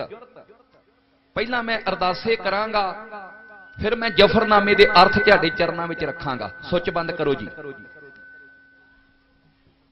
ਵੱਡੇ ਵੀਰ ਗੁਰਨਾਮ ਸਿੰਘ ਸਾਹਿਬ ਜੀ ਮੁਕਸਰ ਸਾਹਿਬ ਦੀ ਧਰਤੀ ਤੋਂ ਆਏ ਨੇ 200 ਰੁਪਈਆ ਪਿਆਰ ਦੇ ਗਏ ਨੇ। ਧੰਨਵਾਦ ਹੈ ਜੀ। ਮਾਸਟਰ ਜਰਨੈਲ ਸਿੰਘ ਸਾਹਿਬ ਜੀ ਢਿੱਲੋਂ ਸਾਹਿਬ ਹਰ ਸਾਲ ਹੀ ਪਿਆਰ ਦਿੰਦੇ ਨੇ 500 ਰੁਪਈਆ ਉਹਨਾਂ ਨੇ ਸ਼ੁਰੂਆਤ ਕੀਤੀ ਏ। ਅਰਦਾਸ ਕਰਦੇ ਆ ਕਿ ਕਲਗੀ ਵਾਲੇ ਪਾਤਸ਼ਾਹ ਔਰ ਸਤਿਗੁਰੂ ਗੁਰੂ ਗ੍ਰੰਥ ਸਾਹਿਬ ਜੀ ਚੜ੍ਹਦੀ ਕਲਾ ਕਰਿਓ, ਮਾਸਟਰ ਜਰਨੈਲ ਸਿੰਘ ਜੀ ਢਿੱਲੋਂ ਸਾਹਿਬ। ਇੱਕ ਵੀਰ ਜੀ, ਸਾਡੇ ਵੱਡੇ ਬਜ਼ੁਰਗ 100 ਰੁਪਈਆ ਅਸੀਸ ਦੇ ਗਏ ਨੇ। ਵੀਰ ਭਰਪੂਰ ਸਿੰਘ ਸਾਹਿਬ ਜੀ 100 ਰੁਪਈਆ ਪਿਆਰ ਦੇ ਗਏ ਨੇ। ਮਾਤਾ ਜੀ 200 ਰੁਪਈਆ ਗੁਪਤ ਪਿਆਰ ਦੇ ਗਏ ਨੇ ਔਰ ਸੰਗਤ ਵੱਲੋਂ ਗੁਰੂ ਕੇ ਲੰਗਰਾਂ ਦੀ ਵੀ ਮਾਇਆ ਆਈ ਏ। ਬਹੁਤ ਬਹੁਤ ਧੰਨਵਾਦ। ਇਤਿਹਾਸ ਬੜਾ ਨਰਾਲਾ ਏ। ਤੁਹਾਨੂੰ ਚੜ੍ਹਦੀ ਕਲਾ ਦੇ ਵਿੱਚੋਂ, ਵਿਰਾਗ ਰਸ ਵਿੱਚ ਵੀ ਲੈ ਕੇ ਜਾਵਾਂਗਾ ਤੇ ਵਿਰਾਗ ਰਸ ਦੇ ਵਿੱਚੋਂ ਫਿਰ ਕਰਮਾਂ ਵਾਲਿਓ ਸਤਿਗੁਰੂ ਗ੍ਰੰਥ ਸਾਹਿਬ ਜੀ ਦੇ ਚਰਨਾਂ ਨਾਲ ਜੋੜ ਕੇ ਜਾਵਾਂਗਾ। ਥੋੜਾ ਜਿਹਾ ਧਿਆਨ ਦਿਓ। ਮਹਾਰਾਜ ਨੇ ਲਿਖਿਆ, ਔਰੰਗਜ਼ੇਬ, ਤੇਰੇ ਰਾਜ ਦੇ ਅੰਦਰ ਮੇਰੇ ਉਹ ਚਾਰ ਬੱਚੇ ਜਿਨ੍ਹਾਂ ਨੇ ਪੂਰੀ ਮਾਨਵਤਾ ਦਾ ਭਲਾ ਕਰਨਾ ਸੀ, ਜਿਹੜੇ ਵੱਡੇ ਵੱਡੇ ਵਿਦਵਾਨ ਨਿੱਕੀਆਂ ਉਮਰਾਂ ਦੇ ਵਿੱਚ ਦੋ ਤੇਰਿਆਂ ਦੁਸ਼ਟਾਂ ਨਾਲ ਜੰਗ ਲੜਦੇ ਲੜਦੇ ਚਮਕੌਰ ਦੀ ਗੜੀ ਅੰਦਰ ਸ਼ਹੀਦ ਹੋ ਗਏ। ਦੋ ਮੇਰੇ ਬੱਚੇ, ਜਿਨ੍ਹਾਂ ਨੂੰ ਤੇਰਾ ਸੂਬਾ ਇਹ ਸਰਹੰਦ ਆਪਣੀਆਂ ਲੱਖਾਂ ਫੌਜਾਂ ਲੈ ਕੇ ਠੰਡੇ ਬੁਰਜ ਵਿੱਚ ਕੈਦ ਕਰਦਾ ਈਨ ਮਨਾਉਂਦਾ ਏ, ਪਰ ਉਹ ਡੋਲੇ ਨਹੀਂ। ਸਿਰ ਦੇ ਨਾਲ ਸਿਦਕ ਨਿਭਾ ਗਏ। ਪਰ ਇੱਕ ਗੱਲ ਯਾਦ ਰੱਖੀ ਤੈਨੂੰ ਰਿਪੋਰਟਾਂ ਮਿਲੀਆਂ ਨੇ ਕਿ ਕਲਗੀ ਦਾ ਪਰਿਵਾਰ ਅਸੀਂ ਖਤਮ ਕਰ ਦਿੱਤਾ। ਮੇਰਾ ਪਰਿਵਾਰ ਖਤਮ ਨਹੀਂ ਜੇ ਹੋਣਾ ਯੁੱਗ ਖਤਮ ਹੋ ਜਾਣਗੇ, ਪਰ ਮੇਰਾ ਪਰਿਵਾਰ ਕਦੇ ਖਤਮ ਨਹੀਂ ਹੋਣਾ। ਤੁਸੀਂ ਸੋਚੋਗੇ ਕਲਗੀ ਵਾਲੇ ਦਾ ਪਰਿਵਾਰ ਖਤਮ ਨਹੀਂ ਹੋਣਾ। ਮਹਾਰਾਜ ਦਾ ਪੰਜਵਾਂ ਨਾਦੀ ਪੁੱਤਰ ਹੈ ਖਾਲਸਾ ਪੰਥ, ਯਾਨੀ ਕਿ ਤੁਸੀਂ। ਮਹਾਰਾਜ ਨੇ ਦਮਦਮਾ ਸਾਹਿਬ ਤੁਹਾਡੇ ਵੱਲ ਇਸ਼ਾਰਾ ਕਰਕੇ ਇਹੋ ਗੱਲ ਕਹੀ ਨਾ ਕਿ ਇਨ ਪੁੱਤਰਨ ਕੇ ਸੀਸ ਪੇ ਵਾਰ ਦੀਏ ਸੁਤ ਚਾਰ ਚਾਰ ਮੂਏ ਤੋਂ ਕਿਆ ਹੁਆ ਜੀਵਤ ਕਈ ਹਜ਼ਾਰ। ਇਹ ਜਫਰਨਾਮੇ ਵਿੱਚ ਲਿਖਿਆ ਕਲਗੀ ਵਾਲੇ ਨੇ। ਮੇਰੇ ਚਾਰ ਪੁੱਤਰ ਮਾਰ ਦਿੱਤੇ, ਸ਼ਹੀਦ ਕਰ ਦਿੱਤੇ। ਪਰ ਬੈਠਾ ਕੁੰਡਲ ਮਾਰ ਕੇ ਮੇਰਾ ਪੰਥ ਮਹਾਨਾ, ਮੇਰਾ ਪੰਜਵਾਂ ਪੁੱਤਰ ਹਲੇ ਚੜ੍ਹਦੀ ਕਲਾ ਵਿੱਚ, ਉਹਨੂੰ ਤੂੰ ਮਾਰ ਨਹੀਂ ਸਕਦਾ। ਵੇਖੋ। ਬੈਠਾ ਕੁੰਡਲ ਮਾਰ ਕੇ, ਮੇਰਾ ਪੰਜਵਾਂ ਪੁੱਤਰ, ਮੇਰਾ ਪੰਥ ਮਹਾਨਾ, ਓਏ ਤੈਨੂੰ ਬਲਦੀ ਅੱਗ ਵਿੱਚ ਸੁੱਟ ਕੇ ਕਰ ਦੇਊ ਵਰਾਨਾ। ਜੇ ਮਰਦ ਕਹਾਉਣਾ ਪਾਜੀਆ ਆ ਨਿੱਤਰ ਮਦਾਨਾ। ਜੇ ਤੂੰ ਵੱਡਾ ਮਰਦ ਨਾ, ਮੈਦਾਨ ਵਿੱਚ ਆ। ਮੇਰੇ ਨਾਲ ਜੰਗ ਲੜ, ਆਪਾਂ ਦੋਨੋਂ ਹੀ ਦੋ ਹੱਥ ਕਰ ਲਈਏ, ਰੱਖ ਨੂਰ ਨਿਸ਼ਾਨਾ ਜਰਨੈਲ ਹੀ ਘਲਦਾ ਰਿਆਂ, ਫੌਜਾਂ ਹੀ ਘਲਦਾ ਰਿਆਂ ਨਾ। ਜੇ ਸੂਰਮਾ ਤੇ ਮੈਦਾਨ ਵਿੱਚ ਆ। ਮੁੱਕਦੀ ਗੱਲ ਆਪਾਂ ਔਰੰਗਜ਼ੇਬ ਦਾ ਕਲਮਾ ਪੜ੍ਹੀਏ। ਭਾਈ ਦਇਆ ਸਿੰਘ ਜੀ ਤਿਆਰ ਹੋ ਜਾਓ। ਦੱਖਣ ਦੇ ਵਿੱਚ ਔਰੰਗਜ਼ੇਬ ਬੈਠਾ ਹੈ, ਔਰੰਗਾਬਾਦ ਦੇ ਲਾਗੇ ਖੁਲਦਾਬਾਦ ਪਿੰਡ। ਹਜੂਰ ਸਾਹਿਬ ਨੂੰ ਜਾਓ ਤੇ ਰਸਤੇ ਵਿੱਚ ਆਉਂਦਾ ਹੈ। ਭਾਈ ਦਇਆ ਸਿੰਘ ਜੀ ਨੇ ਕਲਗੀਧਰ ਦਾ ਲਿਖਿਆ ਦਫਰਨਾਮਾ ਔਰੰਗਜ਼ੇਬ ਨੂੰ ਦਿੱਤਾ। ਪਰ ਕੀ ਉਹ ਕਲਮਾਂ ਦੇ ਵਾਰ ਸੀ? ਕੀ ਕਲਗੀ ਧਰ ਦੇ ਸ਼ਬਦਾਂ ਵਿੱਚ ਜਜ਼ਬਾ ਸੀ? ਕੀ ਕਲਗੀਧਰ ਪਾਤਸ਼ਾਹ ਦੇ ਸ਼ਬਦਾਂ ਦੇ ਵਿੱਚ ਕਰਮਾਂ ਵਾਲੀ ਉਹ ਪਾਵਰ ਸੀ ਤਸੀਰ ਸੀ ਹੌਸਲਾ ਸੀ ਜੁਰਤ ਸੀ। ਪੜਦਿਆਂ ਪੜਦਿਆਂ ਔਰੰਗਜ਼ੇਬ ਦੀ ਰੂਹ ਕੰਬ ਉੱਠੀ। ਜਫਰਨਾਮਾ ਪੜਿਆ ਤੇ ਔਰੰਗਜ਼ੇਬ ਦਾ ਭੌਰ ਅਡਾਰੀ ਮਾਰ ਗਿਆ। ਗੱਜ ਕੇ ਆਖੋ ਸਤਨਾਮ! ਸ੍ਰੀ ਵਾਹਿਗੁਰੂ। ਕੰਬ ਗਿਆ ਔਰੰਗਜ਼ੇਬ। ਉੱਠ ਨਹੀਂ ਸਕਿਆ ਮਰ ਗਿਆ। ਮੁੱਕਦੀ ਗੱਲ ਮਹਾਰਾਜ ਦੇ ਸ਼ਬਦਾਂ ਦੇ ਵਾਰਾਂ ਨਾਲ ਹੀ ਔਰੰਗਜ਼ੇਬ ਖਤਮ ਹੋ ਗਿਆ। ਵਾਰ ਦੋ ਹੁੰਦੇ ਨੇ। ਇੱਕ ਸ਼ਸਤਰ ਦਾ ਹੈ ਇੱਕ ਸ਼ਬਦਾਂ ਦਾ ਹੈ ਬਾਬਰ ਮਰ ਗਿਆ ਸੀ, ਗੁਰੂ ਨਾਨਕ ਦੇਵ ਜੀ ਦੇ ਸ਼ਬਦਾਂ ਨੂੰ ਏਮਨਾਬਾਦ ਦੀ ਧਰਤੀ ਵਿੱਚ ਸੁਣ ਕੇ ਮਹਾਰਾਜ ਨੇ ਕਿਹਾ, ਨਾ ਬਾਬਰ, ਤੂੰ ਜਾਬਰ। ਬਾਬਰ ਪੋਸਟ ਭਾਂਗੇ ਅਫੀਮ ਸੁਰਾਪਨ ਉਤਰ ਜਾਏ ਪ੍ਰਭਾਤ। ਆ ਜਿਹੜੇ ਨਸ਼ੇ ਤੂੰ ਚੱਕੀ ਫਿਰਦਾ ਰਾਤ ਨੂੰ ਖਾਦੇ ਤੇ ਸਵੇਰੇ ਇਹਨਾਂ ਦਾ ਨਸ਼ਾ ਮੁੱਕ ਜਾਣਾ। ਨਸ਼ਾ ਇਦਾਂ ਹੀ ਹੁੰਦਾ ਨਾ ਭਰਾਵੋ। ਤੇ ਸਤਿਗੁਰੂ ਜੀ, ਤੁਹਾਡੇ ਕੋਲ ਕਿਹੜਾ ਨਸ਼ਾ ਏ? ਮਹਾਰਾਜ ਕਹਿੰਦੇ, ਨਾਮ ਖਮਾਰੀ ਨਾਨਕਾ ਚੜੀ ਰਹੇ ਦਿਨ ਮੇਰੇ ਕੋਲ ਨਾਮ ਦਾ ਨਸ਼ਾ ਹੈ ਨਾਮ ਦਾ ਨਸ਼ਾ। ਤੇ ਨਾਮ ਕੀ ਹੈ? ਜੋੜੋ ਹੱਥ ਤੇ ਕਰੋ ਮੁਖ ਪਵਿੱਤਰ ਨਾਮ ਦੱਸਣ ਲੱਗੇ ਆ ਗੱਜ ਕੇ ਆਖੋ ਸਤਨਾਮ ਸ੍ਰੀ। ਵਾਹਿਗੁਰੂ। ਵਾਹਿਗੁਰੂ ਨਾਮ ਹੈ। ਇਹ ਸੱਚਾ ਨਾਮ ਹੈ। ਧਿਆਨ ਦੇਣਾ ਜੀ। ਸੁਭਾਵਕ ਗੱਲ ਏ। ਜਦੋਂ ਔਰੰਗਜ਼ੇਬ ਮਰਿਆ ਤੇ ਇਹਦੇ ਪੁੱਤਰਾਂ ਨੂੰ ਖਬਰ ਮਿਲੀ। ਇਹਦਾ ਪੁੱਤਰ ਤਾਰਾ ਆਜਮ। ਬੜਾ ਜ਼ਾਲਮ ਬੰਦਾ ਸੀ। ਦੌੜ ਕੇ ਆਗਰੇ ਦੇ ਕਿਲੇ ਉੱਤੇ ਕਬਜ਼ਾ ਕਰ ਲਿਆ। ਮਾਇਆ ਦੇ ਉੱਤੇ ਕਬਜ਼ਾ ਕਰ ਲਿਆ, ਭਾਰਤ ਦੇ ਖਜ਼ਾਨੇ ਉੱਤੇ ਕਬਜ਼ਾ ਕਰ ਲਿਆ, ਫੌਜਾਂ ਉੱਤੇ ਕਬਜ਼ੇ ਕਰ ਲੈ ਕਿਲਿਆਂ ਉੱਤੇ ਕਬਜ਼ੇ ਕਰ ਲੈ ਸੁਤੰਤਰ ਬਾਦਸ਼ਾਹ ਹੋਣ ਦਾ ਐਲਾਨ ਕਰ ਦਿੱਤਾ। ਤੇ ਦੂਜਾ ਪੁੱਤਰ ਚੰਗੀ ਬਿਰਤੀ ਵਾਲਾ ਸੀ, ਜਿਹੜਾ ਭਾਈ ਨੰਦ ਲਾਲ ਜੀ ਦੇ ਕੋਲੋਂ ਪੜ੍ਹਿਆ ਕਰਦਾ ਸੀ, ਸਹਿਜ਼ਾਦਾ ਮੁਬਾਜ਼ਮ, ਜਿਹੜਾ ਬਾਅਦ ਵਿੱਚ ਬਹਾਦਰ ਸ਼ਾਹ ਬਣਿਆ। ਇਹ ਦਿੱਲੀ ਆਗਰੇ ਤੋਂ ਹਜ਼ਾਰਾਂ ਮੀਲ ਦੂਰ ਕਾਬਲ ਦੇ ਇਲਾਕੇ ਵਿੱਚ ਪਿਸ਼ਾਵਰ ਦਾ ਗਵਰਨਰ ਸੀ। ਇਹਨੂੰ ਪਿਓ ਦੇ ਮਰਨ ਦੀ ਖਬਰ ਹੀ ਉਦੋਂ ਮਿਲੀ ਜਦੋਂ ਤੱਕ ਇਹਦਾ ਦੂਜਾ ਭਰਾ ਜਿਹੜਾ ਇਹ ਸਾਰੇ ਕਾਸ਼ੇ ਉੱਤੇ ਕਬਜ਼ਾ ਕਰ ਗਿਆ। 5000 ਫੌਜ 2 ਲੱਖ ਰੁਪਈਆ ਕੋਲ ਲੈ ਕੇ ਭਰਾ, ਫੌਜਾਂ ਤੇ ਭਰਾ ਨਾਲ ਲੜਨ ਵਾਸਤੇ ਦਿੱਲੀ ਨੂੰ ਚੱਲ ਪਿਆ, ਆਗਰੇ ਨੂੰ ਚੱਲ ਪਿਆ। ਮਲਤਾਨ ਆਇਆ, ਸੋਚਦਾ ਹੈ ਕਿ ਮੇਰੇ ਭਰਾ ਦੇ ਕੋਲ ਕਿਲੇ ਨੇ, ਮੇਰੇ ਭਰਾ ਦੇ ਕੋਲ ਫੌਜਾਂ ਨੇ, ਮੇਰੇ ਭਰਾ ਦੇ ਕੋਲ ਖਜ਼ਾਨਾ ਹੈ, ਉਹ ਤੇ ਬਾਦਸ਼ਾਹ ਬਣ ਗਿਆ ਮੈਂ 5000 ਫੌਜ ਨਾਲ ਭਰਾ ਦਾ ਟਾਕਰਾ ਨਹੀਂ ਕਰ ਸਕਦਾ। ਮਾਰਿਆ ਜਾਵਾਂਗਾ। ਮੈਨੂੰ ਫੜ ਕੇ ਕੈਦ ਵਿੱਚ ਪਾ ਦੇਵੇਗਾ। ਪਰ ਸਿਆਣਾ ਬੜਾ ਸੀ। ਇਸ ਨਤੀਜੇ ਉੱਤੇ ਪਹੁੰਚਾ ਅਗਰ ਸਿੱਖਾਂ ਦੇ ਗੁਰੂ, ਅਗਰ ਧੰਨ ਗੁਰੂ ਗੋਬਿੰਦ ਸਿੰਘ ਜੀ ਮੇਰੀ ਮਦਦ ਕਰ ਦੇਣ ਤੇ ਮੈਂ ਭਾਰਤ ਦਾ ਬਾਦਸ਼ਾਹ ਬਣ ਸਕਦਾ। ਵੇਖੋ, ਮੁਗਲ ਨੂੰ ਪਤਾ ਹੈ। ਪਰ ਮੇਰੀ ਬੇਨਤੀ ਮਹਾਰਾਜ ਦੇ ਕੋਲ ਕੌਣ ਕਰੇਗਾ? ਸਾਹਮਣੇ ਮਲਤਾਨ ਦੇ ਵਿੱਚ ਵਸਦੇ ਗੁਰੂ ਦੇ ਪਿਆਰੇ ਭਾਈ ਨੰਦ ਲਾਲ ਜੀ, ਜਿਨ੍ਹਾਂ ਦੇ ਕੋਲੋਂ ਦਿੱਲੀ ਵਿੱਚ ਵਿਦਿਆ ਪੜਿਆ ਕਰਦਾ ਸੀ, ਉਹਨਾਂ ਦਾ ਚੇਲਾ ਸੀ ਤੇ ਭਾਈ ਨੰਦ ਲਾਲ ਜੀ ਦਾ ਬਚਨ ਕਦੇ ਵੀ ਗੁਰੂ ਗੋਬਿੰਦ ਸਿੰਘ ਜੀ ਮੋੜਦੇ ਨਹੀਂ। ਇਹ ਮੈਂ ਗੱਲ ਇਹ ਸਹਿਜਤਾ ਨਾਲ ਤਾਂ ਕਰ ਰਿਹਾ ਕਿ ਇਤਿਹਾਸ ਬੜਾ ਗਹਿਰਾ ਏ ਗੁੰਝਲਦਾਰ ਏ ਪਤਾ ਲੱਗ ਜਾਵੇ। ਤੁਸੀਂ ਸਰੋਤੇ ਜੇ, ਮੈਂ ਤੁਹਾਡਾ ਬੱਚਾ ਹਾਂ, ਪਰ ਜੋ ਕੋਈ ਤੁਹਾਡੇ ਚਰਨਾਂ ਚੋਂ ਸਿੱਖਿਆ ਏ ਗੁਰੂ ਦੀ ਰਹਿਮਤ ਨਾਲ ਉਹੋ ਕੁਝ ਹੀ ਕਹਿਣਾ ਏ ਧਿਆਨ ਦਿਓ ਜਰਾ। ਲਓ ਜੀ ਇਹ ਤੇ ਥੋੜਾ ਜਿਹਾ ਦੀ ਆਵਾਜ਼ ਨੂੰ ਕੰਟਰੋਲ ਕਰੋ। ਠੀਕ ਆ ਬਸ ਠੀਕ ਆ ਇੱਥੇ ਰਹਿਣ ਦੇ ਹੁਣ ਛੇੜੀ ਨਾ।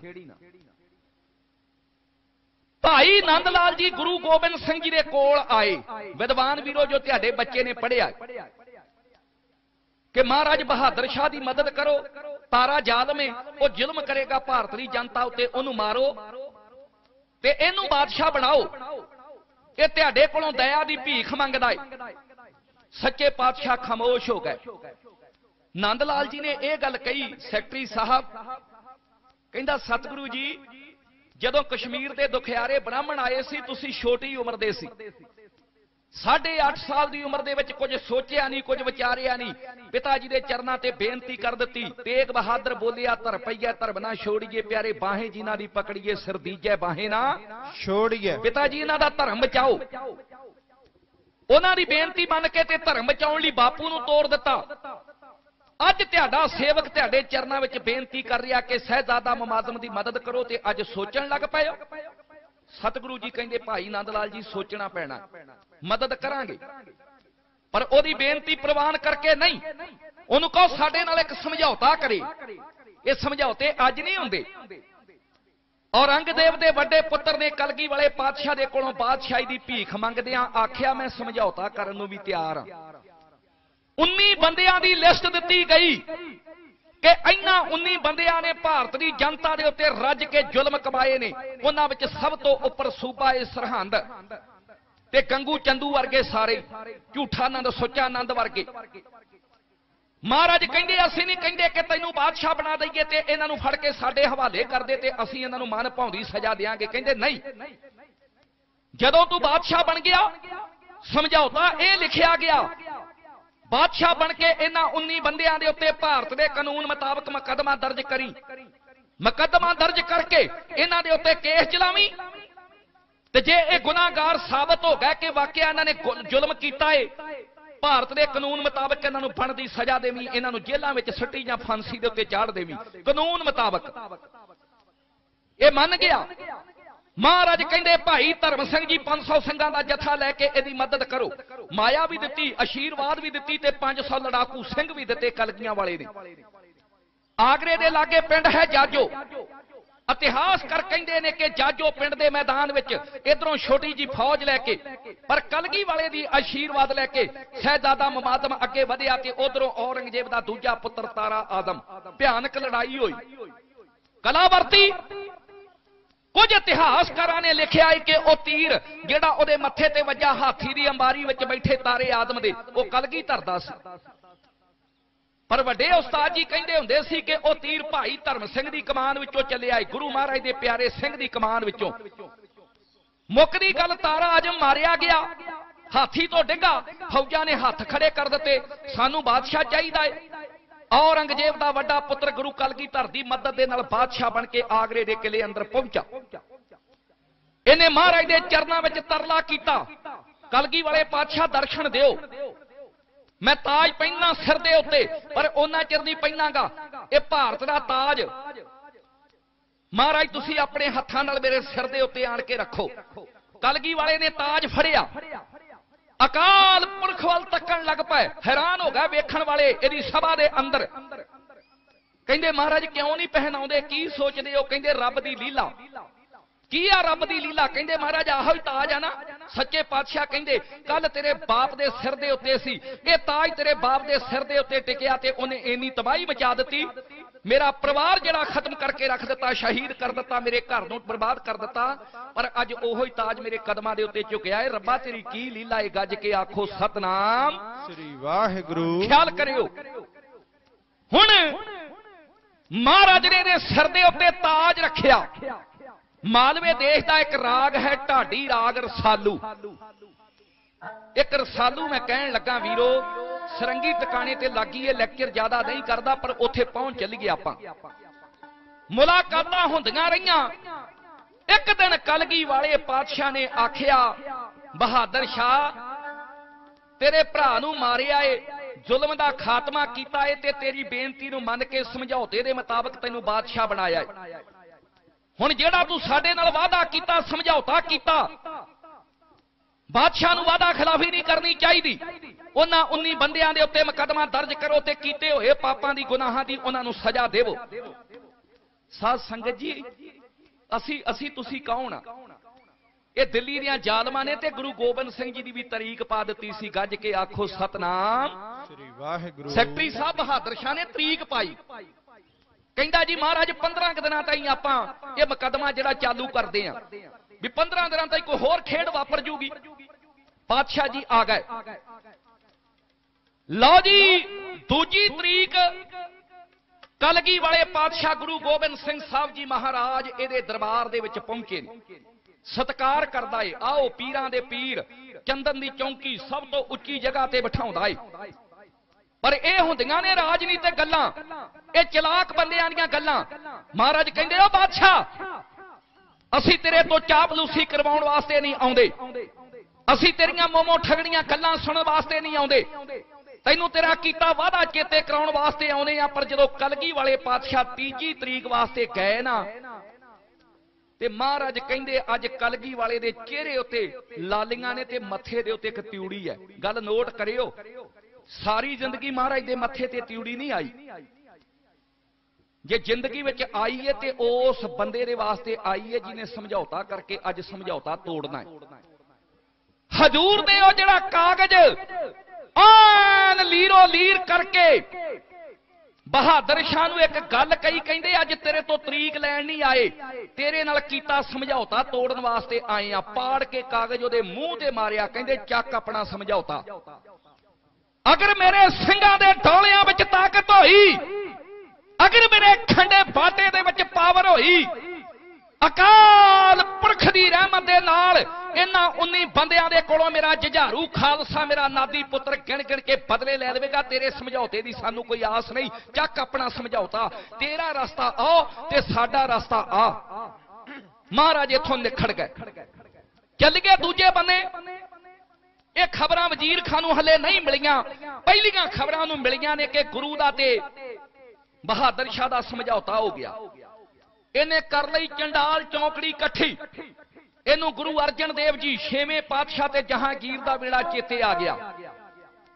ਕਿ ਐਦਾਂ ਹੀ ਗੁਰੂ ਹਰਗੋਬਿੰਦ ਸਾਹਿਬ ਦਾ ਤੇ ਜਹਾਂਗੀਰ ਦਾ ਸਮਝੌਤਾ ਹੋਇਆ ਸੀ। ਤੇ ਜਹਾਂਗੀਰ ਨੇ ਚੰਦੂ ਫੜ ਕੇ ਗੁਰਾਂ ਦੇ ਹਵਾਲੇ ਕਰ ਦਿੱਤਾ।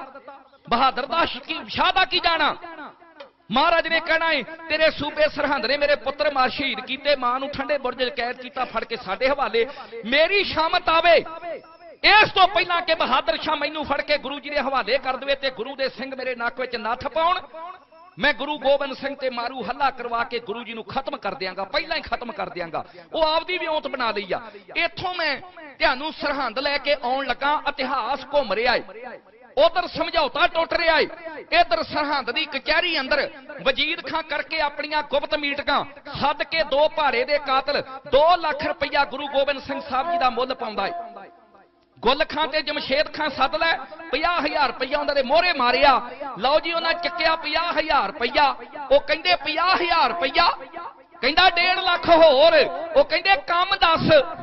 ਕਹਿੰਦਾ ਜਿੱਥੇ ਵੀ ਸਿੱਖਾਂ ਦਾ ਗੁਰੂ ਗੋਬਿੰਦ ਸਿੰਘ ਲੱਭੇ, ਲੱਭ ਕੇ ਗੁਰੂ ਗੋਬਿੰਦ ਸਿੰਘ ਨੂੰ ਫੜੋ ਖੰਜਰ, ਇਹ ਜ਼ਹਿਰ ਭਰਿਆ ਖੰਜਰ ਗੁਰੂ ਦੀ ਵੱਖੀ ਵਿੱਚ ਮਾਰ ਕੇ ਗੁਰੂ ਨੂੰ ਖਤਮ ਕਰ ਦਿਓ। ਸੂਬਾ ਸਰਹੰਦ 2 ਲੱਖ ਰੁਪਇਆ ਗੁਰੂ ਜੀ ਦਾ ਮੁੱਲ ਪਾ ਕੇ ਗੁੱਲ ਖਾਂ ਤੇ ਜਮਸ਼ੈਦ ਖਾਂ ਨੂੰ ਕੁਝ ਗੱਲਾਂ, ਹੇ! ਐਉਂ ਕਹਿ ਰਿਹਾ ਬਈ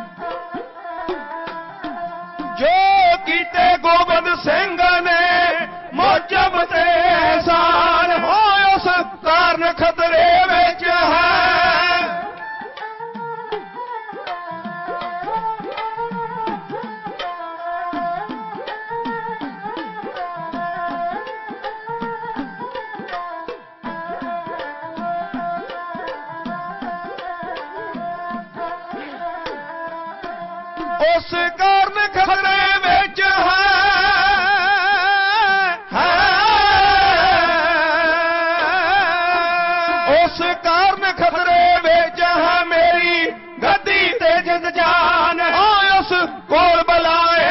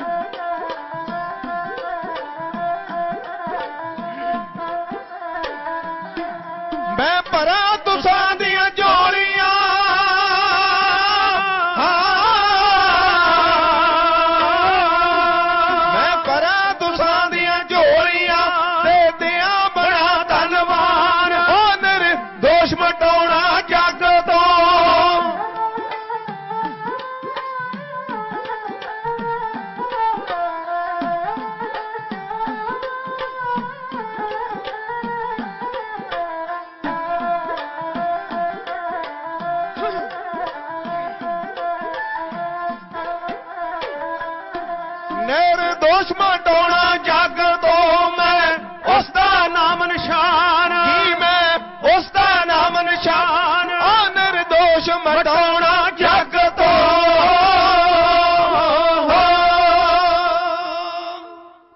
ਨਿਰਦੋਸ਼ ਮਟਾਉਣਾ ਜੱਗ ਤੋਂ, ਮੈਂ ਉਸ ਦਾ ਨਾਮ ਨਿਸ਼ਾਨ। ਬਾਪੂ ਜੀ 500 ਰੁਪਇਆ ਲਖਵੀਰ ਸਿੰਘ ਸਾਹਿਬ ਜੀ ਦੇ ਨਾਮ ਦੇ ਉੱਤੇ ਆਸ਼ੀਰਵਾਦ ਢਾਡੀ ਜਥੇ ਨੂੰ ਦੇ ਗਏ ਨੇ। ਅਰਦਾਸ ਕਰਦੇ ਆ ਕਿ ਪਾਤਸ਼ਾਹ ਚੜ੍ਹਦੀ ਕਲਾ ਕਰੇ। ਨੰਬਰਦਾਰ ਸਾਹਿਬ ਜੀ ਸਰਦਾਰ ਸਾਹਿਬ ਸਰਦਾਰ ਇਕਬਾਲ ਸਿੰਘ ਸਾਹਿਬ ਜੀ 100 ਰੁਪਇਆ ਪਿਆਰ ਦੇ ਗਏ ਨੇ। ਹੋਰ ਸੰਗਤਾਂ ਵੱਲੋਂ ਵੀ ਗੁਰੂ ਕੇ ਲੰਗਰਾਂ, ਇਮਾਰਤਾਂ ਵਾਸਤੇ ਵੀ ਮਾਇਆ ਆ ਰਹੀ ਹੈ। ਹੁਣ ਉੱਠਣ ਦਾ ਯਤਨ ਨਾ ਕਰਿਓ। ਬਹਿ ਜਾਓ। ਸੁਣੋ ਵਾਰਤਾ। ਇੱਥੇ ਪਹੁੰਚਣਾ ਏ ਆਗਿਆ ਭਈ ਅਕਾਲ ਕੀ ਤਵੇ ਚਲਾਇਓ ਪੰਥ, ਸਭ ਸਿੱਖਣ ਕੋ ਹੁਕਮ ਹੈ ਗੁਰੂ ਮਾਨਿਓ। ਅਸੀਂ ਜਦੋਂ ਤੋਂ ਆਉਨੇ ਆ, ਹਰ ਸਾਲ ਇੱਥੋਂ ਅੱਗੇ ਇਤਿਹਾਸ ਤੋਰੀ ਦਾ ਅਗਲੇ ਸਾਲ ਇੱਥੋਂ ਅੱਗੇ ਤੋਰਾਂਗੇ। ਇਹ ਆਸ਼ ਹੁੰਦੀ ਏ। ਤੇ ਜਦੋਂ ਗੁਰੂ ਚਰਨਾਂ ਦੇ ਵਿੱਚ ਆਸ ਹੋਵੇ ਨਾ ਕਰਮਾਂ ਵਾਲਿਓ, ਤੇ ਇੱਥੋਂ ਕਦੇ ਕੋਈ ਨਿਰਾਸ਼ਾ ਨਹੀਂ ਜਾਂਦਾ। ਗੱਜ ਕੇ ਆਖੋ, ਸਤਨਾਮ, ਆਪਾਂ ਇੱਕ ਤੱਤ ਕੱਢੀਏ। ਸੁਣੋ ਪਿਆਰ ਦੇ ਨਾਲ। ਇਹ ਜ਼ਿੰਦਗੀ 'ਚ ਸਮਾਂ ਮਿਲਦਾ ਹੈ ਵਾਹਿਗੁਰੂ ਦੀ ਰਹਿਮਤ ਹੁੰਦੀ ਹੈ ਤੇ ਸਮਾਂ ਮਿਲਦਾ ਹੈ ਭਾਗਾਂ ਵਾਲਿਆਂ ਨੂੰ। ਸਿਆਣੇ ਕਹਿੰਦੇ ਨੇ, ਵੱਡ ਭਾਗੀ ਹਰ ਸੰਗਤ ਪਾਵੇ, ਗੁਰਬਾਣੀ ਚੋਂ ਪੜ ਕੇ ਭਾਗਹੀਣ ਭ੍ਰਮ ਚੋਟਾਂ ਖਾਵੇ, ਬਿਨ ਭਾਗਾਂ ਸਤ ਸੰਗ ਨਾ ਲੱਭੈ, ਬਿਨ ਸੰਗਤ ਮੈਲ। ਭਰੀਜੈ ਜੀਓ। ਭੈਣੋ 2 ਲੱਖ ਰੁਪਈਆ ਗੁਰੂ ਗੋਬਿੰਦ ਸਿੰਘ ਜੀ ਦਾ ਮੁੱਲ ਪਾਇਆ। ਜ਼ਾਲਮ ਬਿਰਤੀ ਦੇ ਬੰਦੇ ਸੂਬਾ ਸਰਹੰਦ ਨੇ। ਗੁਰੂ ਜੀ ਦੀ ਮਾਤਾ ਨੂੰ ਠੰਡੇ ਬੁਰਜ ਵਿੱਚ ਕੈਦ ਕਰਕੇ ਢਿੱਡ ਨਹੀਂ ਭਰਿਆ। ਬੱਚਿਆਂ ਨੂੰ ਨੀਹਾਂ ਵਿੱਚ ਚਿਣ ਕੇ ਢਿੱਡ ਨਹੀਂ ਭਰਿਆ। ਆਨੰਦਪੁਰ ਨੂੰ ਢਾਹ ਕੇ ਢਿੱਡ ਨਹੀਂ ਭਰਿਆ। ਚਮਕੌਰ ਦੀ ਜੰਗ ਵਿੱਚ ਤਿੰਨ ਪਿਆਰੇ ਦੋ ਪੁੱਤਰ ਸ਼ਹੀਦ ਹੋ ਗਏ। ਮਹਾਰਾਜ ਦੇ ਸਿੰਘ ਸ਼ਹੀਦ ਹੋ ਗਏ। ਇਹਦਾ ਜ਼ਾਲਮ ਦਾ ਢਿੱਡ ਨਹੀਂ ਭਰਿਆ। ਮਹਾਂਪੁਰਸ਼ ਆਏ ਨਹੀਂ ਗੁਰੂ ਚਰਨਾਂ 'ਚ ਖੁਸ਼ੀਆਂ ਦਾ ਇੱਕ ਜਕਾਰਾ ਲਾਈਏ ਜੀ। ਬੋਲੇ ਸੋ ਨਿਹਾਲ। ਸਤਿ ਸ੍ਰੀ ਅਕਾਲ। ਅਸੀਂ ਕਹਿ ਦਿੰਦੇ ਆ ਪਰ ਬਾਬਾ ਜੀ ਨੇ ਕਦੇ ਕਹਾਇਆ ਨਹੀਂ। ਇਹ ਵੀ ਇੱਕ ਵਡੱਪਣ ਹੈ, ਇੱਕ ਪਿਆਰ ਹੈ, ਇੱਕ ਸਤਿਕਾਰ ਹੈ। ਤੇ ਜਿੰਨੀ ਸਫ਼ਾਈ, ਜਿੰਨੀ ਸੁੰਦਰਤਾ ਥੋੜੇ ਸਮੇਂ ਵਿੱਚ ਹੀ ਇਹ ਤੁਹਾਡਾ ਜੋ ਤਿਲਫਲ ਤੁਸੀਂ ਦੇ ਕੇ ਜਾਂਦੇ ਆ ਐਦਾਂ ਦੇ ਦੀਵਾਨ ਐਦਾਂ ਦਾ ਪ੍ਰਬੰਧ ਐਦਾਂ ਦੀ ਸਿਚੁਏਸ਼ਨ ਐਦਾਂ ਦਾ ਸੋਹਣਾ, ਇਹ ਉਧਰ ਵੇਖੋ ਕੀ ਕੁਝ ਬਣਿਆ, ਇਹ ਬੜਾ ਮਨ ਪ੍ਰਸੰਨ ਹੁੰਦਾ ਜੀ। ਇੱਥੇ ਬੈਠੇ ਰਹੋ ਭਾਵੇਂ ਜਿੱਥੋਂ ਤੱਕ ਅੱਧੀ ਰਾਤ ਤੱਕ ਅਸੀਂ ਹੰਭਣ ਨਹੀਂ ਲੱਗੇ। ਕਿਉਂਕਿ ਚਾਰ ਚਫੇਰੇ ਤੱਕਦਾ ਵਾਂ, ਆਨੰਦ ਹੀ ਆਨੰਦ ਆਈ ਜਾਂਦਾ, ਜਿੱਥੇ ਗੁਰੂ ਮਹਾਰਾਜ ਬਹਿ ਗਏ ਆਨੰਦ ਆਨੰਦ ਸਭ ਕੋ ਕਹੈ। ਦੁਨੀਆ ਕਹਿੰਦੀ ਆ ਜੀ, ਪੈਲਸ ਵਿੱਚ ਗਏ, ਉੱਥੇ ਨੱਚਣ ਵਾਲੀ ਦੇਖ ਕੇ ਬੜਾ ਆਨੰਦ ਆਇਆ। ਮੈਂ ਕਿਹਾ, ਉਹ ਕਿੰਨਾ ਕੁ ਚਿਰ ਆਨੰਦ ਰਹੂਗਾ? ਜਦਣ ਚਾਰ ਡਿੱਗ ਪਿਆ ਨਾ, ਚਾਰ ਜਣੇ ਚੱਕਣ ਨੂੰ ਚਾਹੀਦੇ ਸਿਵਿਆਂ ਚ ਜਾਣ ਨੂੰ। ਪੈਲਸ ਵਿੱਚੋਂ ਬਾਹਰ ਹੋਇਆ, ਨੱਚਣ ਵਾਲੀ ਨੇ ਪੈਸੇ ਲੈ ਲਿਆ ਆਨੰਦ ਖਤਮ। ਕੋਈ ਕਹਿੰਦਾ ਜੀ, ਪੈਗ ਪੀ ਕੇ ਬੜਾ ਆਨੰਦ ਆਇਆ। ਲੈ, ਫਲਾਣੇ ਹਲਵਾਈ ਦੇ ਤੰਦੂਰ ਵਾਲੀ ਮੱਛੀ ਖਾਧੀ, ਬੜਾ ਆਨੰਦ ਆਇਆ। ਆਨੰਦ ਰਹੂਗਾ ਕਿੰਨਾ ਕੁ ਚਿਰ? ਪਰ ਜਿਹੜਾ ਆ ਆਨੰਦ ਅੱਜ ਤੁਸੀਂ ਇੱਥੋਂ ਲੈ ਕੇ ਜਾਣਾ ਨਾ ਇਹ ਰਾਮਕਲੀ ਰਾਗ ਵਿੱਚ ਤੀਜੇ ਗੁਰੂ ਲਿਖਦੇ ਆ ਗੁਰੂ ਅਮਰਦਾਸ ਜੀ। ਕਹਿੰਦੇ ਆਨੰਦ ਆਨੰਦ ਸਭ ਕੋ ਕਹੈ ਆਨੰਦ ਗੁਰੂ ਤੇ ਜਾਣਿਆ ਜਾਣਿਆ ਆਨੰਦ ਸਦਾ ਗੁਰ ਤੇ ਕਿਰਪਾ ਕਰੇ ਪਿਆਰਿਆ ਕਰ ਕਿਰਪਾ ਕਿਲ ਵੇਖ ਕੱਟੇ ਗਿਆਨ ਅੰਜਨ ਸਾਰਿਆ ਅੰਦਰੋਂ ਜਨ ਕਾ ਮੋਹ ਟੁੱਟਾ ਤਿਨ ਕਾ ਸ਼ਬਦ ਸੱਚੇ ਸਵਾਰਿਆ। ਕਹੇ ਨਾਨਕ ਇਹੋ ਆਨੰਦ ਹੈ ਆਨੰਦ ਗੁਰ ਤੇ ਜਾਣਿਆ। ਇਹ ਆਨੰਦ ਕਦੇ ਮਰਨਾ ਨਹੀਂ। ਨਾ ਇੱਥੇ ਮਰਨਾ ਤੇ ਨਾ ਹੀ ਕਰਮਾਂ ਵਾਲਿਓ ਉੱਥੇ ਮਰਨਾ। ਇਹ ਦੋਹਾਂ ਜਹਾਨੀ ਲੋਕ ਸੁਖੀ, ਪਰਲੋਕ ਸਹੇਲੇ, ਆਨੰਦ ਬਣਿਆ ਹੀ ਰਹਿਣਾ ਹੈ। ਆਨੰਦ ਲਈਏ ਆਪਾਂ। 2 ਲੱਖ ਰੁਪਈਆ ਮੁੱਲ ਪਾਇਆ। ਉਹ ਕਹਿੰਦੇ 2 ਲੱਖ ਦੇ ਬਦਲੇ ਤਾਂ ਅਸੀਂ ਆਪਦਾ ਪਿਓ ਵੀ ਨਾ ਛੱਡੀਏ, ਪਿਓ ਵੀ ਮਾਰ ਦਈਏ। 50000 ਰੁਪਈਆ ਐਡਵਾਂਸ ਲੈ ਕੇ 1.5 ਲੱਖ ਰੁਪਈਆ ਗੁਰੂ ਨੂੰ ਮਾਰ ਕੇ ਆ ਜਾਓ ਤੁਹਾਨੂੰ ਇਨਾਮ ਦੇਵਾਂਗਾ। ਪਹਾੜੇ ਦੇ ਕਾਤਲ ਤੁਰ ਪੈ ਗੁਰੂ ਗੋਬਿੰਦ ਸਿੰਘ ਦੀ ਭਾਲ ਵਿੱਚ।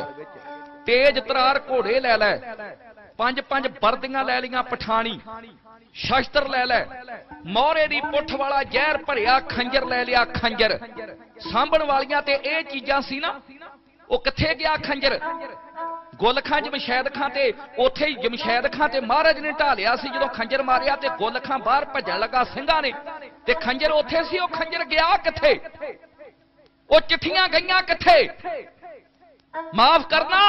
ਤੁਹਾਨੂੰ ਬਰਬਾਦ ਕਰਨ ਵਾਸਤੇ ਜ਼ਾਲਮਾਂ ਦਾ, ਅੱਡੀ ਚੋਟੀ ਦਾ ਜ਼ੋਰ ਲੱਗਾ ਹੋਇਆ ਏ ਜ਼ਾਲਮਾਂ ਦਾ। ਆਪਣਿਆਂ ਦਾ, ਤੁਹਾਡੇ ਆਪਣਿਆਂ ਦਾ। ਜੇ ਤੁਹਾਨੂੰ ਬਚਾਈ ਜਾਂਦੇ ਨੇ ਤੇ ਸਤਿਗੁਰੂ ਗ੍ਰੰਥ ਸਾਹਿਬ ਜੀ ਬਚਾਈ ਜਾਂਦੇ ਨੇ। ਦਸਾਂ ਗੁਰੂਆਂ ਦੀ ਜਾਗਦੀ ਜੋਤ। ਮਹਾਰਾਜ ਆਪਣੀ ਕੁਰਬਾਨੀ ਦੇ ਦਿੰਦੇ ਆ।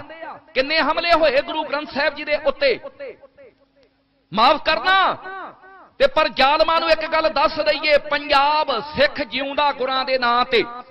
ਨਾ ਪੰਜਾਬ ਮਰਨਾ ਤੇ ਨਾ ਸਿੱਖ ਮਰਨਾ। ਆ ਜਿਹੜਾ ਲੋਟੂ ਢਾਣਾ ਆਪਣਾ ਆਪਦਾ ਹੀ ਹੈ ਨਾ, ਹੁਣ ਸਤਿਗੁਰੂ ਗ੍ਰੰਥ ਸਾਹਿਬ ਦੀ ਨਜ਼ਰ ਵਿੱਚ ਇਹ ਆ ਗਏ ਨੇ। ਬੜੇ ਨਾ ਆਪਣਿਆਂ ਨੇ ਜ਼ੁਲਮ ਕਮਾ ਲਿਆ ਹੁਣ ਭੱਜੇ ਫਿਰਦੇ, ਹੌਂਗਦੇ ਫਿਰਦੇ, ਗਿੱਦੜਾਂ ਵਾਂਗੂ। ਕਿਉਂ ਤਾਲੀਆਂ ਠੋਕਣ ਦੀ ਲੋੜ ਪੈ ਗਈ? ਕਿਉਂਕਿ ਲੋਕਾਂ ਨੂੰ ਲੁੱਟ-ਲੁੱਟ ਕੇ ਖਾ ਲਿਆ। ਤੇ ਕਿਉਂ ਹੁਣ ਘਰ ਘਰ ਜਾ ਕੇ ਇਧਰਲੇ ਲਾਣੇ ਨੂੰ ਮਿੰਤਾ ਕਰਦੀਆਂ ਪੈ ਰਹੀਆਂ? ਇਹਨਾਂ ਦੇ ਢੇਡੀ ਨਹੀਂ ਭਰੇ ਬਰਬਾਦੀ ਇੰਨੀ ਬਰਬਾਦੀ। ਰੋਇਆ ਰੁੱਖ ਕੁਹਾੜੇ ਵਿੱਚ ਦੇਖ ਦਸਤਾ ਟੱਕ ਜੜਾਂ ਨੂੰ ਲਾਇਆ ਤੇ ਆਪਣੇ ਨੇ। ਬੁਲਬੁਲ ਰੋ ਪਈ ਮਾਲੀ ਹੱਥ ਦੇਖ ਸੂਈ ਛੇਕ ਫੁੱਲ ਵਿੱਚ ਪਾਇਆ ਤੇ ਆਪਣੇ ਨੇ। ਕਲਗੀ ਧਰਜੀ ਦੇ ਜਿਗਰ ਦੇ ਨਸਤਰਾਂ ਨੂੰ ਨੀਆਂ ਵਿੱਚ ਚੜਾਇਆ ਤੇ ਆਪਣੇ ਨੇ। ਭੈਣੋ ਮੁਰਦਾ ਰੋ ਪਿਆ ਦਗੇ ਦੀ ਦੇਖ ਦੁਨੀਆ ਲਾਂਬੂ ਚਿਖਾਂ ਨੂੰ ਲਾਇਆ ਤੇ ਆਪਣੇ ਨੇ। ਸਿੱਖ ਨੂੰ ਕਿਸੇ ਤੋਂ ਖਤਰਾ ਹੈ? ਆ ਜਦੋਂ ਪਿੰਡਾਂ ਵਿੱਚ ਆਉਂਦੇ ਇਹਨਾਂ ਨੂੰ ਭਾ ਕੇ ਪੁੱਛੋ ਤੇ ਸਹੀ ਹੁਣ ਮੌਕਾ ਹੈ। ਪਰ ਤੁਹਾਡੇ ਤੋਂ ਪੁੱਛ ਨਹੀਂ ਹੋਣਾ, ਕਿਉਂਕਿ ਤੁਸੀਂ ਵੀ ਪਾਰਟੀ ਬਾਜੀ ਦਾ ਪਿੰਡਾਂ ਵਾਲਿਓ ਸ਼ਿਕਾਰ ਹੋ ਗਏ। ਨਾ ਤੁਸੀਂ ਇਕੱਠੇ ਹੋਵੋ ਤੇ ਨਾ ਇਹਨਾਂ ਦੀ ਧੌਣ ਤੇ ਗੋਡਾ ਆਵੇ। ਮਹਾਰਾਜ ਕਹਿੰਦੇ ਹੋ ਹੋ ਇਕੱਤਰ ਮਿਰੋ ਮੇਰੇ ਭਾਈ, ਦੁਬਦਾ ਦੂਰ ਕਰੋ ਲਿਵ ਲਾਏ ਜਿੰਨਾ ਚਿਰ ਆਪਾਂ ਏਕੇ ਦੀ ਲੜੀ ਵਿੱਚ ਨਹੀਂ ਆਉਂਦੇ, ਪਿੰਡਾਂ 'ਚੋਂ ਨਫ਼ਰਤ ਨਹੀਂ ਤਿਆਗਦੇ, ਈਰਖਾ ਨਹੀਂ, ਸਾੜਾ ਨਹੀਂ ਦਿਲਾਂ 'ਚੋਂ ਕੱਢਦੇ। ਇਹਨਾਂ ਨੇ ਤੁਹਾਨੂੰ ਲੁੱਟਦੇ ਰਹਿਣਾ ਹੀ ਸਭ ਕੁਝ ਖੋਲਣਾ ਤੁਹਾਡੇ ਕੋਲੇ ਨਾ, ਛੱਡਿਆ ਕੀ ਆ? ਇੱਕ ਸਤਿਗੁਰੂ ਦੀ ਰਹਿਮਤ ਆ, ਇਹ ਨਾ ਕਿਤੇ ਤੁਹਾਡੇ ਤੋਂ ਖੋ ਲੈਣ। ਜਦੋਂ ਇਹ ਖੋਲੀਗੀ ਤੇ ਆਪਾਂ ਖਤਮ। ਪਰ ਇਹ ਖੋ ਨਹੀਂ ਹੋਣੀ ਜ਼ਾਲਮਾਂ ਤੋਂ। ਚੱਲੀਏ। ਪਠਾਣਾ ਦਾ ਭੇਸ ਧਾਰ ਕੇ ਸਰਹੰਦ ਤੋਂ ਚੱਲ ਕੇ ਗੁੱਲ ਖਾਂ ਤੇ ਜਮਸ਼ੈਦ ਖਾਂ, ਲਾਲਚ ਦੇ ਮਾਰੇ। ਗੁਰੂ ਗੋਬਿੰਦ ਸਿੰਘ ਜੀ ਦੇ ਉੱਤੇ ਹਮਲਾ ਕਰਕੇ ਮਹਾਰਾਜ ਨੂੰ ਮਾਰਨ ਵਾਸਤੇ ਦਿੱਲੀ ਪਹੁੰਚਦੇ ਆ। ਮਾਤਾ ਸੁੰਦਰੀ ਜੀ ਦਿੱਲੀ ਰਹਿੰਦੇ ਸੀ ਭੈਣੋ, ਸਾਡੇ ਵੱਡੇ ਮਾਤਾ ਜੀ, ਗੁਰੂ ਗੋਬਿੰਦ ਸਿੰਘ ਜੀ ਦੇ ਮਹਿਲ। ਇਹ ਮਾਤਾ ਜੀ ਨੂੰ ਲੱਭ ਲਿਆ। ਐਦਾਂ ਬੀਬੀਆਂ ਭੈਣਾਂ ਸੰਗਤ ਬੈਠੀ ਏ, ਮਾਤਾ ਜੀ ਵਾਹਿਗੁਰੂ ਮੰਤਰ ਦਾ ਜਾਪ ਕਰਾ ਰਹੇ ਤੇ ਇਹ ਆਣ ਕੇ ਪੈਰੀ ਡਿੱਗ ਪਏ, ਮਾਤਾ ਜੀ ਮਾਤਾ ਜੀ, ਰੋਈ ਜਾਣ, ਪਠਾਨ, ਪਾਪੀ। ਮਾਂ ਕਹਿੰਦੀ, ਬੱਚਿਓ, ਬੈਠ। ਹੰਝੂ ਪੂੰਝ ਦਿਓ। ਮਾਤਾ ਜੀ, ਸਤਿਗੁਰੂ ਕਿੱਥੇ ਆ? ਅਸੀਂ ਆਨੰਦਪੁਰ ਗੁਰੂ ਮਹਾਰਾਜ ਨੂੰ ਘੋੜੇ ਵੇਚਣ ਆਇਆ ਕਰਦੇ ਸੀ। ਆਨੰਦਪੁਰ ਗਏ, ਆਨੰਦਪੁਰ ਉਜੜਿਆ ਏ। ਮਾਂ ਕਹਿੰਦੀ, ਵਸ ਜਾਵੇਗਾ। ਅਸੀਂ ਪਤਾ ਕਰਦੇ ਕਰਦੇ ਤੁਹਾਡੇ ਕੋਲ ਆਏ ਆ। ਤੇ ਮਾਤਾ ਸੁੰਦਰੀ ਜੀ ਕਹਿੰਦੀ, ਬੱਚਿਓ ਮਾਫ ਕਰਨਾ ਕਰਮਾਂ ਵਾਲਿਓ। ਮਾਂ ਕਿਤੇ ਜਾਣਦੀ ਨਹੀਂ ਗੁਰੂ ਦੀ ਜੀਵਨ ਸਾਥਣ ਹੋਵੇ ਅਜੀਤ ਸਿੰਘ ਦੀ ਮਾਂ ਹੋਵੇ ਸਾਡੀ ਵੱਡੀ ਮਾਂ ਹੋਵੇ ਮਾਤਾ ਸੁੰਦਰੀ ਜੀ। ਤੇ ਕਿਤੇ ਉਹਨੂੰ ਪਤਾ ਨਹੀਂ ਵੀ ਇਹ ਪਾਪੀ ਲੋਕ ਆ। ਉਹਨਾਂ ਨੇ ਪਤਾ ਪੁੱਛਿਆ ਤੇ ਮਾਤਾ ਜੀ ਕਹਿੰਦੀ ਸਤਿਗੁਰੂ ਜੀ ਦੱਖਣ ਨੂੰ ਚਲੇ ਗਿਆ ਇੱਕ ਵਾਰੀ ਗੱਜ ਕੇ ਕਹਿ ਦਿਓ ਸਤਨਾਮ। ਸ੍ਰੀ ਵਾਹਿਗੁਰੂ। ਰਾਤ ਦਿੱਲੀ ਕੱਟੀ ਘੋੜਿਆਂ ਤੇ ਚੜੇ ਤੇ ਗੁਰੂ ਮਹਾਰਾਜ ਦੀ ਪੈੜ ਨੱਪਦੇ ਨੱਪਦੇ ਆ ਗਏ ਨਦੇੜ। ਗੋਦਾਵਰੀ ਨਦੀ ਦੇ ਕੰਢੇ ਦੇ ਉੱਤੇ ਗੁਰੂ ਮਹਾਰਾਜ ਦਰਬਾਰ ਲਾਉਂਦੇ ਆ। ਐਦਾਂ ਦਰਬਾਰ ਲੱਗਾ ਏ, ਸੱਚੀ ਸਰਕਾਰ ਤਖਤ ਉੱਤੇ ਬੈਠੀ ਆ। ਬੀਬੀਆਂ ਭੈਣਾਂ ਇੱਧਰ ਬੈਠੀਆਂ ਨੇ, ਸਿੰਘ ਇੱਧਰ ਬੈਠੇ ਨੇ। ਰੌਣਕ ਲੱਗੀ ਆ, ਢਾਡੀ ਵਾਰਾਂ ਪੜ ਰਹੇ ਆ। ਇਹ ਦੂਰੋਂ ਹੀ ਘੋੜੇ ਖੜੇ ਕਰਕੇ ਉਤਰੇ, ਹੱਥ ਮੂੰਹ ਧੋਤਾ ਤੇ ਆਣ ਕੇ ਮਹਾਰਾਜ ਦੇ ਚਰਨਾਂ ਦੇ ਉੱਤੇ ਡਿੱਗ ਪਏ। ਲੱਗੇ ਫਿਰ ਨਾਟਕ ਕਰਨ।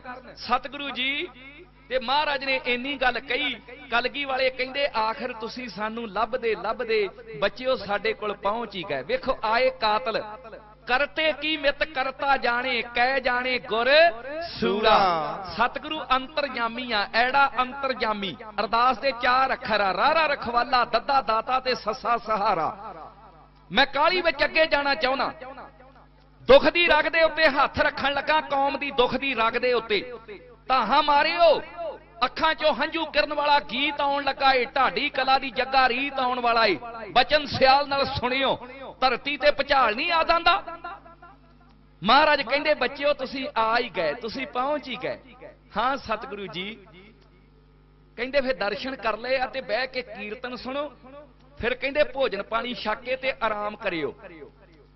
ਬਸ ਆ ਗਏ ਦਰਬਾਰ ਵਿੱਚ, ਭਾਂਡੇ ਵੀ ਮਾਂਜਣ ਲੱਗ ਪਏ। ਕਦੇ ਕਦੇ ਦੂਰ ਤੁਰਨ ਚਲੇ ਜਾਂਦੇ। ਵੀ ਅਸੀਂ ਘੋੜਿਆਂ ਦੇ ਸਦਾਗਰਾਂ ਤੇ ਸਤਿਗੁਰੂ ਤੇ ਜਾਣੀ ਜਾਣਾ ਤੇ ਮਹਾਰਾਜ ਨੇ ਲੀਲਾ ਗੁਪਤ ਰੱਖੀ। ਕਦੇ ਮੋਹਰੇ ਬਹਿ ਕੇ ਕੀਰਤਨ ਸੁਣਨਾ। ਇੱਕ ਮਹੀਨਾ ਇਹ ਮੋਮੋ ਠਗਣੇ, ਗੁੱਲ ਖਾਂ, ਜਮਸ਼ੈਦ ਖਾਂ ਪਹਾੜੇ ਦੇ ਕਾਤਲ ਭੇਤ ਕੱਢਦੇ ਰਹਿ। ਮਹਾਰਾਜ ਕਿਹੜੇ ਤੰਬੂ ਵਿੱਚ ਸੌਂਦੇ ਆ? ਮਹਾਰਾਜ ਕਿਹੜੇ ਤੰਬੂ ਵਿੱਚ ਆਏ ਗਏ ਨੂੰ ਮਿਲਦੇ ਆ? ਮਹਾਰਾਜ ਦੁਪਹਿਰ ਦਾ ਵੇਲਾ ਕਿੱਥੇ ਕੱਟਦੇ ਆ? ਰਾਤ ਨੂੰ ਕਿਹੜੇ ਤੰਬੂ ਵਿੱਚ ਆਰਾਮ ਕਰਦੇ ਆ? ਕੌਣ ਕੌਣ ਪਹਿਰੇ ਦੇ ਉੱਤੇ ਹੁੰਦਾ ਏ? ਕਦੋਂ ਸੰਗਤਾਂ ਨੂੰ ਮਿਲਦੇ, ਕਦੋਂ ਉੱਠਦੇ, ਕਦੋਂ ਦੀਵਾਨ ਵਿੱਚ ਆਉਂਦੇ, ਕਦੋਂ ਮੁਲਾਕਾਤਾਂ ਹੁੰਦੀਆਂ? ਇੱਕ ਮਹੀਨੇ ਵਿੱਚ ਭੇਤ ਕੱਢ ਲਿਆ। ਕਾਤਲ ਸੀ ਨਾ? ਚਲਾਕ ਬਿਰਤੀ ਦੇ ਬੰਦੇ ਸੀ। ਲਓ ਜੀ ਮਾਫ ਕਰਨਾ ਕਰਮਾਂ ਵਾਲਿਓ ਅਸੀਂ ਕਹਿੰਨੇ ਆ ਕਿ ਦੀਵਾਲੀ ਕੀ ਰਾਤ ਦੀਵੇ ਬਾਲੀਆਂ। ਸਿੱਖ ਜਗਤ ਦੀਵਾਲੀ ਮਨਾਉਂਦਾ ਏ ਰੋਸ਼ਨੀਆਂ ਦਾ ਤਿਉਹਾਰ ਹੈ ਦੀਵਾਲੀ। ਘਿਓ ਦੇ ਦੀਵੇ, ਤੇਲ ਦੇ ਦੀਵੇ ਜਗਦੇ ਨੇ, ਆਤਿਸ਼ਬਾਜ਼ੀ ਚੱਲਦੀ ਏ ਮਠਿਆਈਆਂ ਵੰਡੀਆਂ ਤੇ ਖਾਧੀਆਂ ਜਾਂਦੀਆਂ ਨੇ। ਪਰ ਮੇਰੀ ਕੌਮ ਦੇ ਪਿਆਰਿਓ, ਹੱਥ ਜੋੜ ਕੇ ਗੁਰੂ ਦੇ ਚਰਨਾਂ ਵਿੱਚ ਤਰਲਾ ਕਰਿਆ ਕਰੋ, ਉਹੋ ਜੀ ਦੀਵਾਲੀ ਸਾਡੇ ਜੀਵਨ ਦੇ ਵਿੱਚ ਮੁੜ ਕੇ ਨਾ ਕਦੇ ਆਵੇ। ਕਹਿੰਦੇ ਦੀਵਾਲੀ ਆਉਣ ਵਾਲੀ ਏ। 15 ਦਿਨਾਂ ਤੱਕ ਦੀਵਾਲੀ ਏ। ਅੱਜ ਪਾਪੀਆਂ ਨੇ ਮਹਾਰਾਜ ਦੇ ਉੱਤੇ ਮਾਰੂ ਹਮਲਾ ਕਰਨਾ ਏ। ਅਮਾਵਸ ਦੀਆਂ ਰਾਤਾਂ ਆਉਣ ਵਾਲੀਆਂ ਨੇ ਇਧਰ ਚੰਦ ਚਾਨਣੀ ਏ ਕਰਮਾਂ ਵਾਲਿਓ। ਤੇ ਆਹ ਟਾਈਮ ਸੀ ਜਿਹੜਾ ਮੈਂ ਇਤਿਹਾਸ ਤੁਹਾਡਿਆਂ ਚਰਨਾਂ ਦੇ ਵਿੱਚ ਕਹਿ ਰਿਹਾ ਇਤਿਹਾਸਕਾਰਾਂ ਨੇ ਲਿਖਿਆ ਏ ਕਿ ਹੋਈ ਸ਼ਾਮ ਰਹਿ ਰਾਸ ਦਾ ਵਕਤ ਹੋਇਆ। ਹਾਂ। ਸ਼ਾਮਾਂ ਨੂੰ ਆਪਾਂ ਰਹਿ ਰਾਸ ਦੀ ਬਾਣੀ ਗੁਰੂ ਘਰਾਂ ਵਿੱਚ ਗਾਉਨੇ ਆ ਸੋਦਰ ਦੀ ਚੌਂਕੀ ਲੱਗਦੀ ਆ ਜਿੱਥੇ ਵੱਡੇ ਕੀਰਤਨੀਏ ਹੁੰਦੇ ਆ। ਤੇ ਮਹਾਰਾਜ ਨੇ ਸਿੰਘਾਂ ਨੂੰ ਕਿਹਾ ਹੋਇਆ ਸੀ ਕਿ 4:30 ਵਜੇ ਐਨ ਰਾਵੀ ਦੇ ਕੰਢੇ, ਵਾਹਿਗੁਰੂ ਗੋਦਾਵਰੀ ਦੇ ਕੰਢੇ ਦੇ ਉੱਤੇ ਪੰਡਾਲ ਸਜਾ ਦਿਆ ਕਰੋ।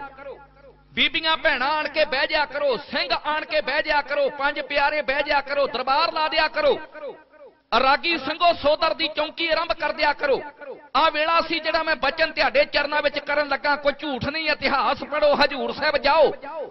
ਇੱਥੇ ਬੈਠਿਆਂ ਗੁਰੂ ਚਰਨਾਂ ਦਾ ਮਨ ਕਰਕੇ ਬਿਰਤੀ ਇਕਾਗਰ ਕਰਕੇ ਧਿਆਨ ਧਰ ਲਓ। ਤੁਹਾਡਾ ਬੱਚਾ ਤੁਹਾਡੇ ਸਾਹਮਣੇ ਗੁਰੂ ਜੀ ਦੀ ਕਿਰਪਾ ਨਾਲ ਨਕਸ਼ਾ ਖਿੱਚ ਦੇਵੇਗਾ ਗੱਜ ਕੇ ਆਖੋ ਸਤਨਾਮ। ਸ੍ਰੀ ਵਾਹਿਗੁਰੂ। ਹੋਈ ਸ਼ਾਮ ਰਹਿ ਰਾਸ ਦਾ ਵਕਤ ਹੋਇਆ। ਮਾਰ ਚੌਂਕੜੇ ਸਿੰਘ ਸਰਦਾਰ ਸੱਜ ਗਏ। ਸਜੀ ਮਾਈ ਭਾਗੋ ਨਾਲ ਬੀਬੀਆਂ ਦੇ। ਸਾਥੀ ਬੰਦੇ ਦੇ ਬੇਸ਼ੁਮਾਰ ਸਜ ਗਏ। ਸਜੀ ਭਗਤੀ ਤੇ ਸ਼ਕਤੀ ਵੀ ਨਾਲ ਸੱਜ ਗਈ। ਜਦੋਂ ਸੂਰਮੇ ਪੈਨ ਹਥਿਆਰ ਸਜ ਗਏ, ਜਿਨ੍ਹਾਂ ਖਾਲਸਾ ਪੰਥ ਨੂੰ ਸਾਜਿਆ ਸੀ, ਵਾਲੀ ਪੰਥ ਦੇ ਪੰਥ ਵਿਚਕਾਰ ਸੱਜ ਗਏ। ਕਲਗੀ ਧਾਰ ਜੀ, ਅੱਜ ਨਿਰਦੋਸ਼ ਵੇਖੋ ਜਾਣੀ ਕੌਣ ਕੇ ਆਖਰੀ ਵਾਰ ਸੱਜ ਗਏ। ਤੁਸੀਂ ਸਮਝ ਗਏ ਹੋ ਨਾ ਮੈਂ ਕੀ ਕਹਿਣਾ ਚਾਹੁੰਦਾ?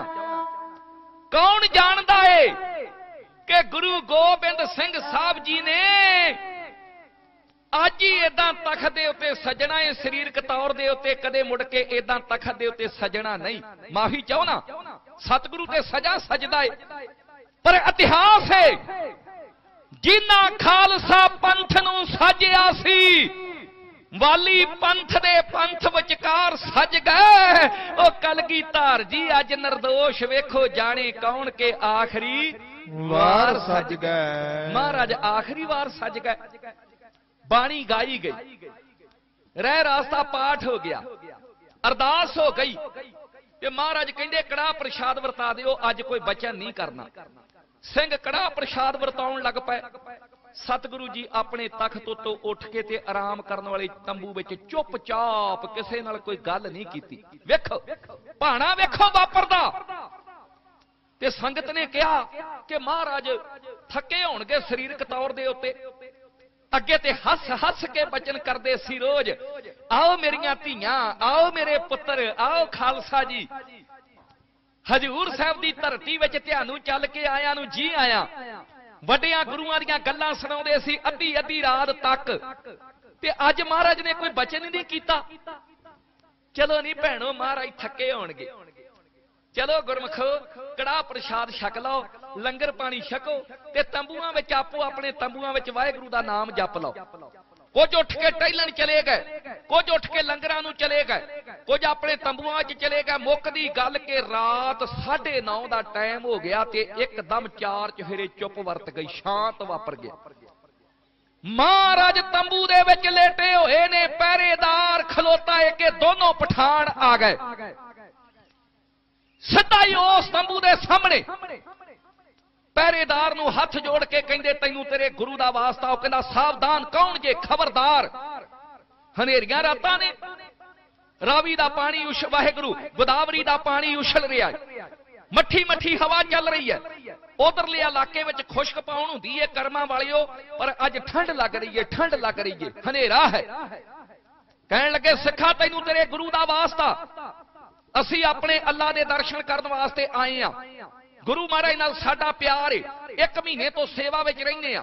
ਘੋੜਿਆਂ ਦੇ ਵਪਾਰੀ ਆ ਅੱਜ ਵਪਾਰ ਕਰਦੇ ਕਰਦੇ ਦੂਰ ਨਿਕਲ ਗਏ। ਅਸੀਂ ਦੋਨਾਂ ਭਰਾਵਾਂ ਨੇ ਇੱਕ ਬਚਨ ਕੀਤਾ ਹੋਇਆ ਏ ਕਿ ਜਿੰਨਾ ਚਿਰ ਤੱਕ ਰਾਤ ਨੂੰ ਗੁਰੂ ਮਹਾਰਾਜ ਦੇ ਦਰਸ਼ਨ ਨਹੀਂ ਕਰ ਲੈਂਦੇ ਉਹਨਾਂ ਚਿਰ ਤੱਕ ਰਾਤ ਦਾ ਭੋਜਨ ਪਾਣੀ ਨਹੀਂ ਛਕਣਾ ਸਿੱਖਾ ਤੈਨੂੰ ਗੁਰੂ ਦਾ ਵਾਸਤਾ ਬੜੀ ਭੁੱਖ ਲੱਗੀ ਆ। ਤੰਬੂ ਦਾ ਪਰਦਾ ਹਟਾ ਦੇ, ਮਹਾਰਾਜ ਦੇ ਦਰਸ਼ਨ ਕਰ ਲੈਣ ਦੇ ਸਾਨੂੰ। ਜੇ ਗੁਰੂ ਮਹਾਰਾਜ ਦੇ ਦਰਸ਼ਨ ਹੋ ਗਏ, ਅਸੀਂ ਭੋਜਨ ਪਾਣੀ ਛਕ ਲਵਾਂਗੇ, ਨਹੀਂ ਤੇ ਭੁੱਖਿਆਂ ਨੂੰ ਰਾਤ ਕੱਟਣੀ ਔਖੀ ਹੋ ਜਾਣੀ ਆ। ਤੈਨੂੰ ਵਾਸਤਾ ਜੀ। ਪਹਿਰੇਦਾਰ ਗੁਰੂ ਦਾ ਵਾਸਤਾ ਸੁਣਿਆ। ਸਿੱਖ ਸਭ ਕੁਝ ਸਹਾਰ ਸਕਦਾ, ਪਰ ਗੁਰੂ ਦਾ ਵਾਸਤਾ ਸੁਣ ਕੇ ਨਹੀਂ ਸਹਾਰ ਸਕਦਾ। ਕਹਿੰਦਾ ਪਠਾਨ ਬੱਚਿਓ, ਇੱਕ ਗੱਲ ਦਾ ਖਿਆਲ ਰੱਖਿਓ। ਮਹਾਰਾਜ ਆਰਾਮ ਕਰ ਰਹੇ ਨੇ, ਉਹਨਾਂ ਦੇ ਆਰਾਮ ਦੇ ਵਿੱਚ ਕੋਈ ਵਿਗਨ ਨਹੀਂ ਪੈਣਾ ਚਾਹੀਦਾ। ਸ਼ਾਂਤ ਜਾਓ ਪੜਦਾ ਹਟ ਜਾਵੇਗਾ ਕਲਗੀਧਰ ਦੇ, ਦਰਸ਼ਨ ਕਰ ਲਓ। ਦਰਸ਼ਨ ਕਰਕੇ ਚੁੱਪਚਾਪ ਚਰਨਾਂ ਨੂੰ ਹੱਥ ਨਹੀਂ ਲਾਉਣੇ, ਦੂਰੋਂ ਨਮਸਕਾਰ ਕਰਕੇ ਲੇਟੇ ਹੋਏ ਮਹਾਰਾਜ ਉਹਨਾਂ ਦੇ ਦਰਸ਼ਨ ਕਰਕੇ ਬਾਹਰ ਆ ਜਾਣਾ ਹੈ ਕਿਉਂਕਿ ਤੁਸੀਂ ਗੁਰੂ ਦਾ ਵਾਸਤਾ ਦਿੱਤਾ ਜੀ।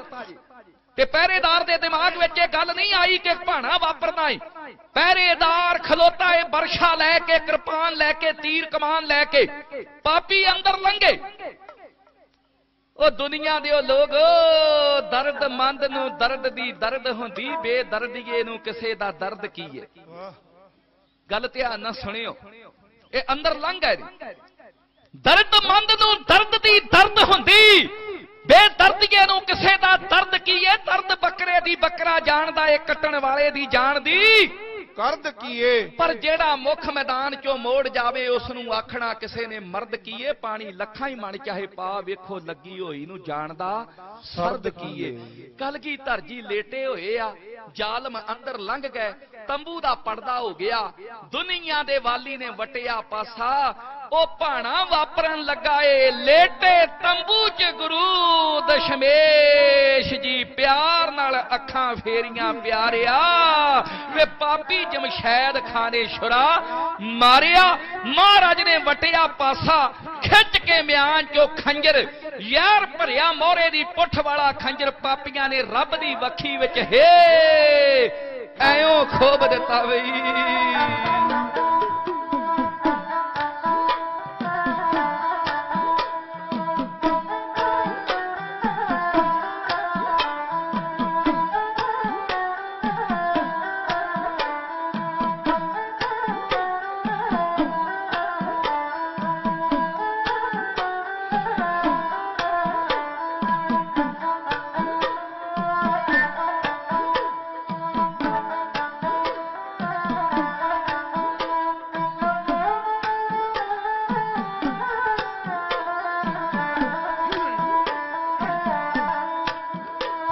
ਖਿੱਚ ਖੰਜਰ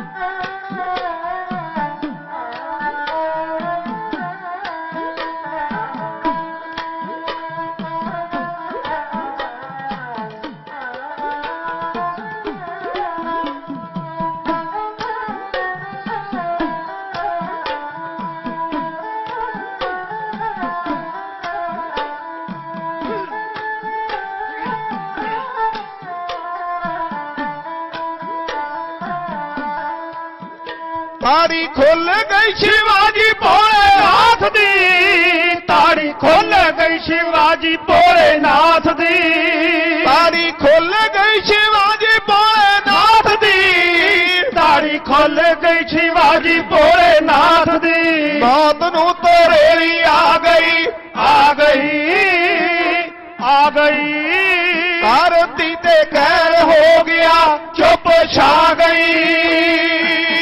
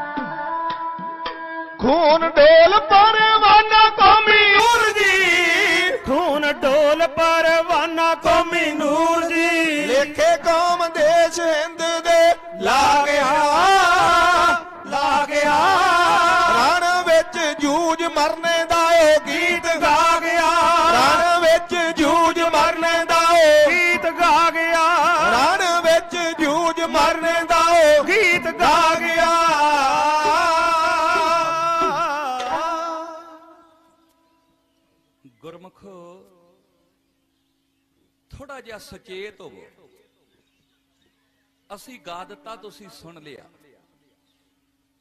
ਪਰ ਭੈਣੋ ਸੋਚਿਓ ਵੀਰੋ ਸੋਚਿਓ ਕਿ ਗੁਰੂ ਗੋਬਿੰਦ ਸਿੰਘ ਜੀ ਦੀ ਪੌਣੇ 42 ਸਾਲ ਉਮਰ ਹੋਈ ਆ। ਇੱਕ ਇੱਕ ਮਿੰਟ ਵੀ ਮਨੁੱਖਾ ਦੇਹੀ ਵਿੱਚ ਸਤਿਗੁਰੂ ਜੀ ਆਰਾਮ ਨਾਲ ਨਹੀਂ ਬੈਠ ਸਕੇ। ਆਖੋ ਸਤਨਾਮ। ਸ੍ਰੀ ਵਾਹਿਗੁਰੂ।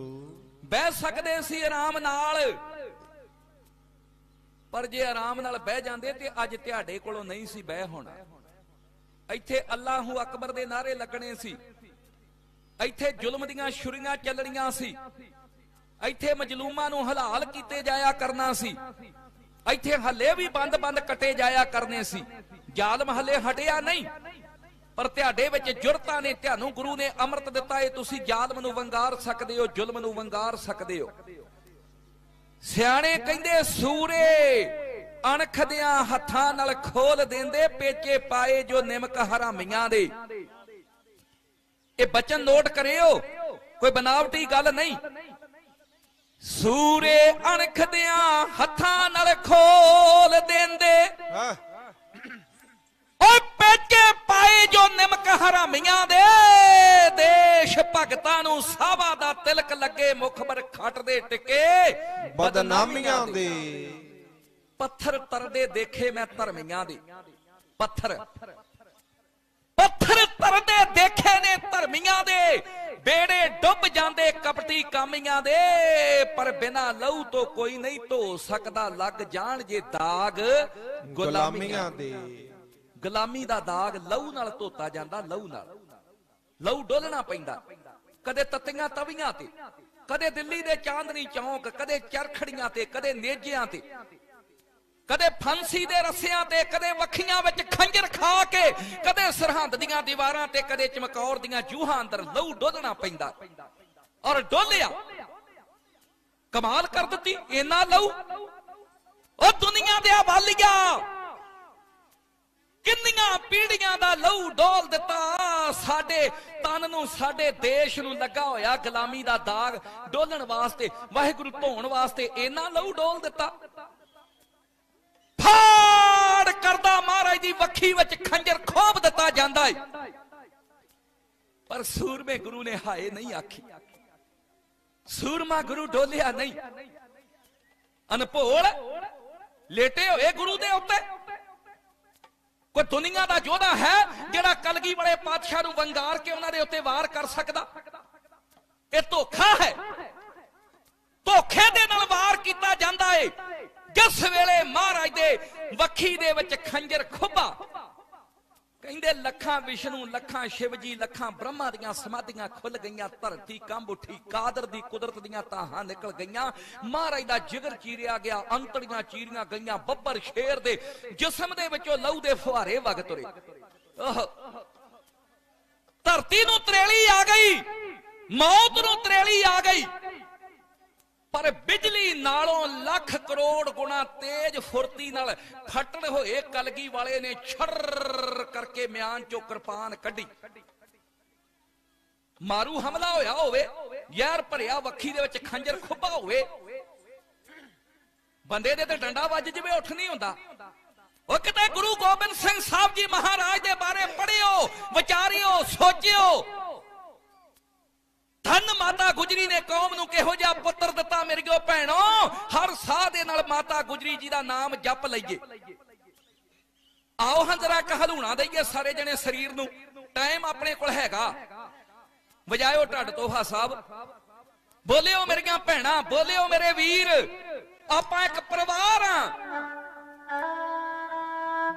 ਧਨ ਕਲਗੀ ਧਰ ਦਸ਼ਮੇਸ਼ ਪਿਤਾ ਧਨ ਕਲਗੀ ਧਰ ਦਸ਼ਮੇਸ਼ ਪਿਤਾ।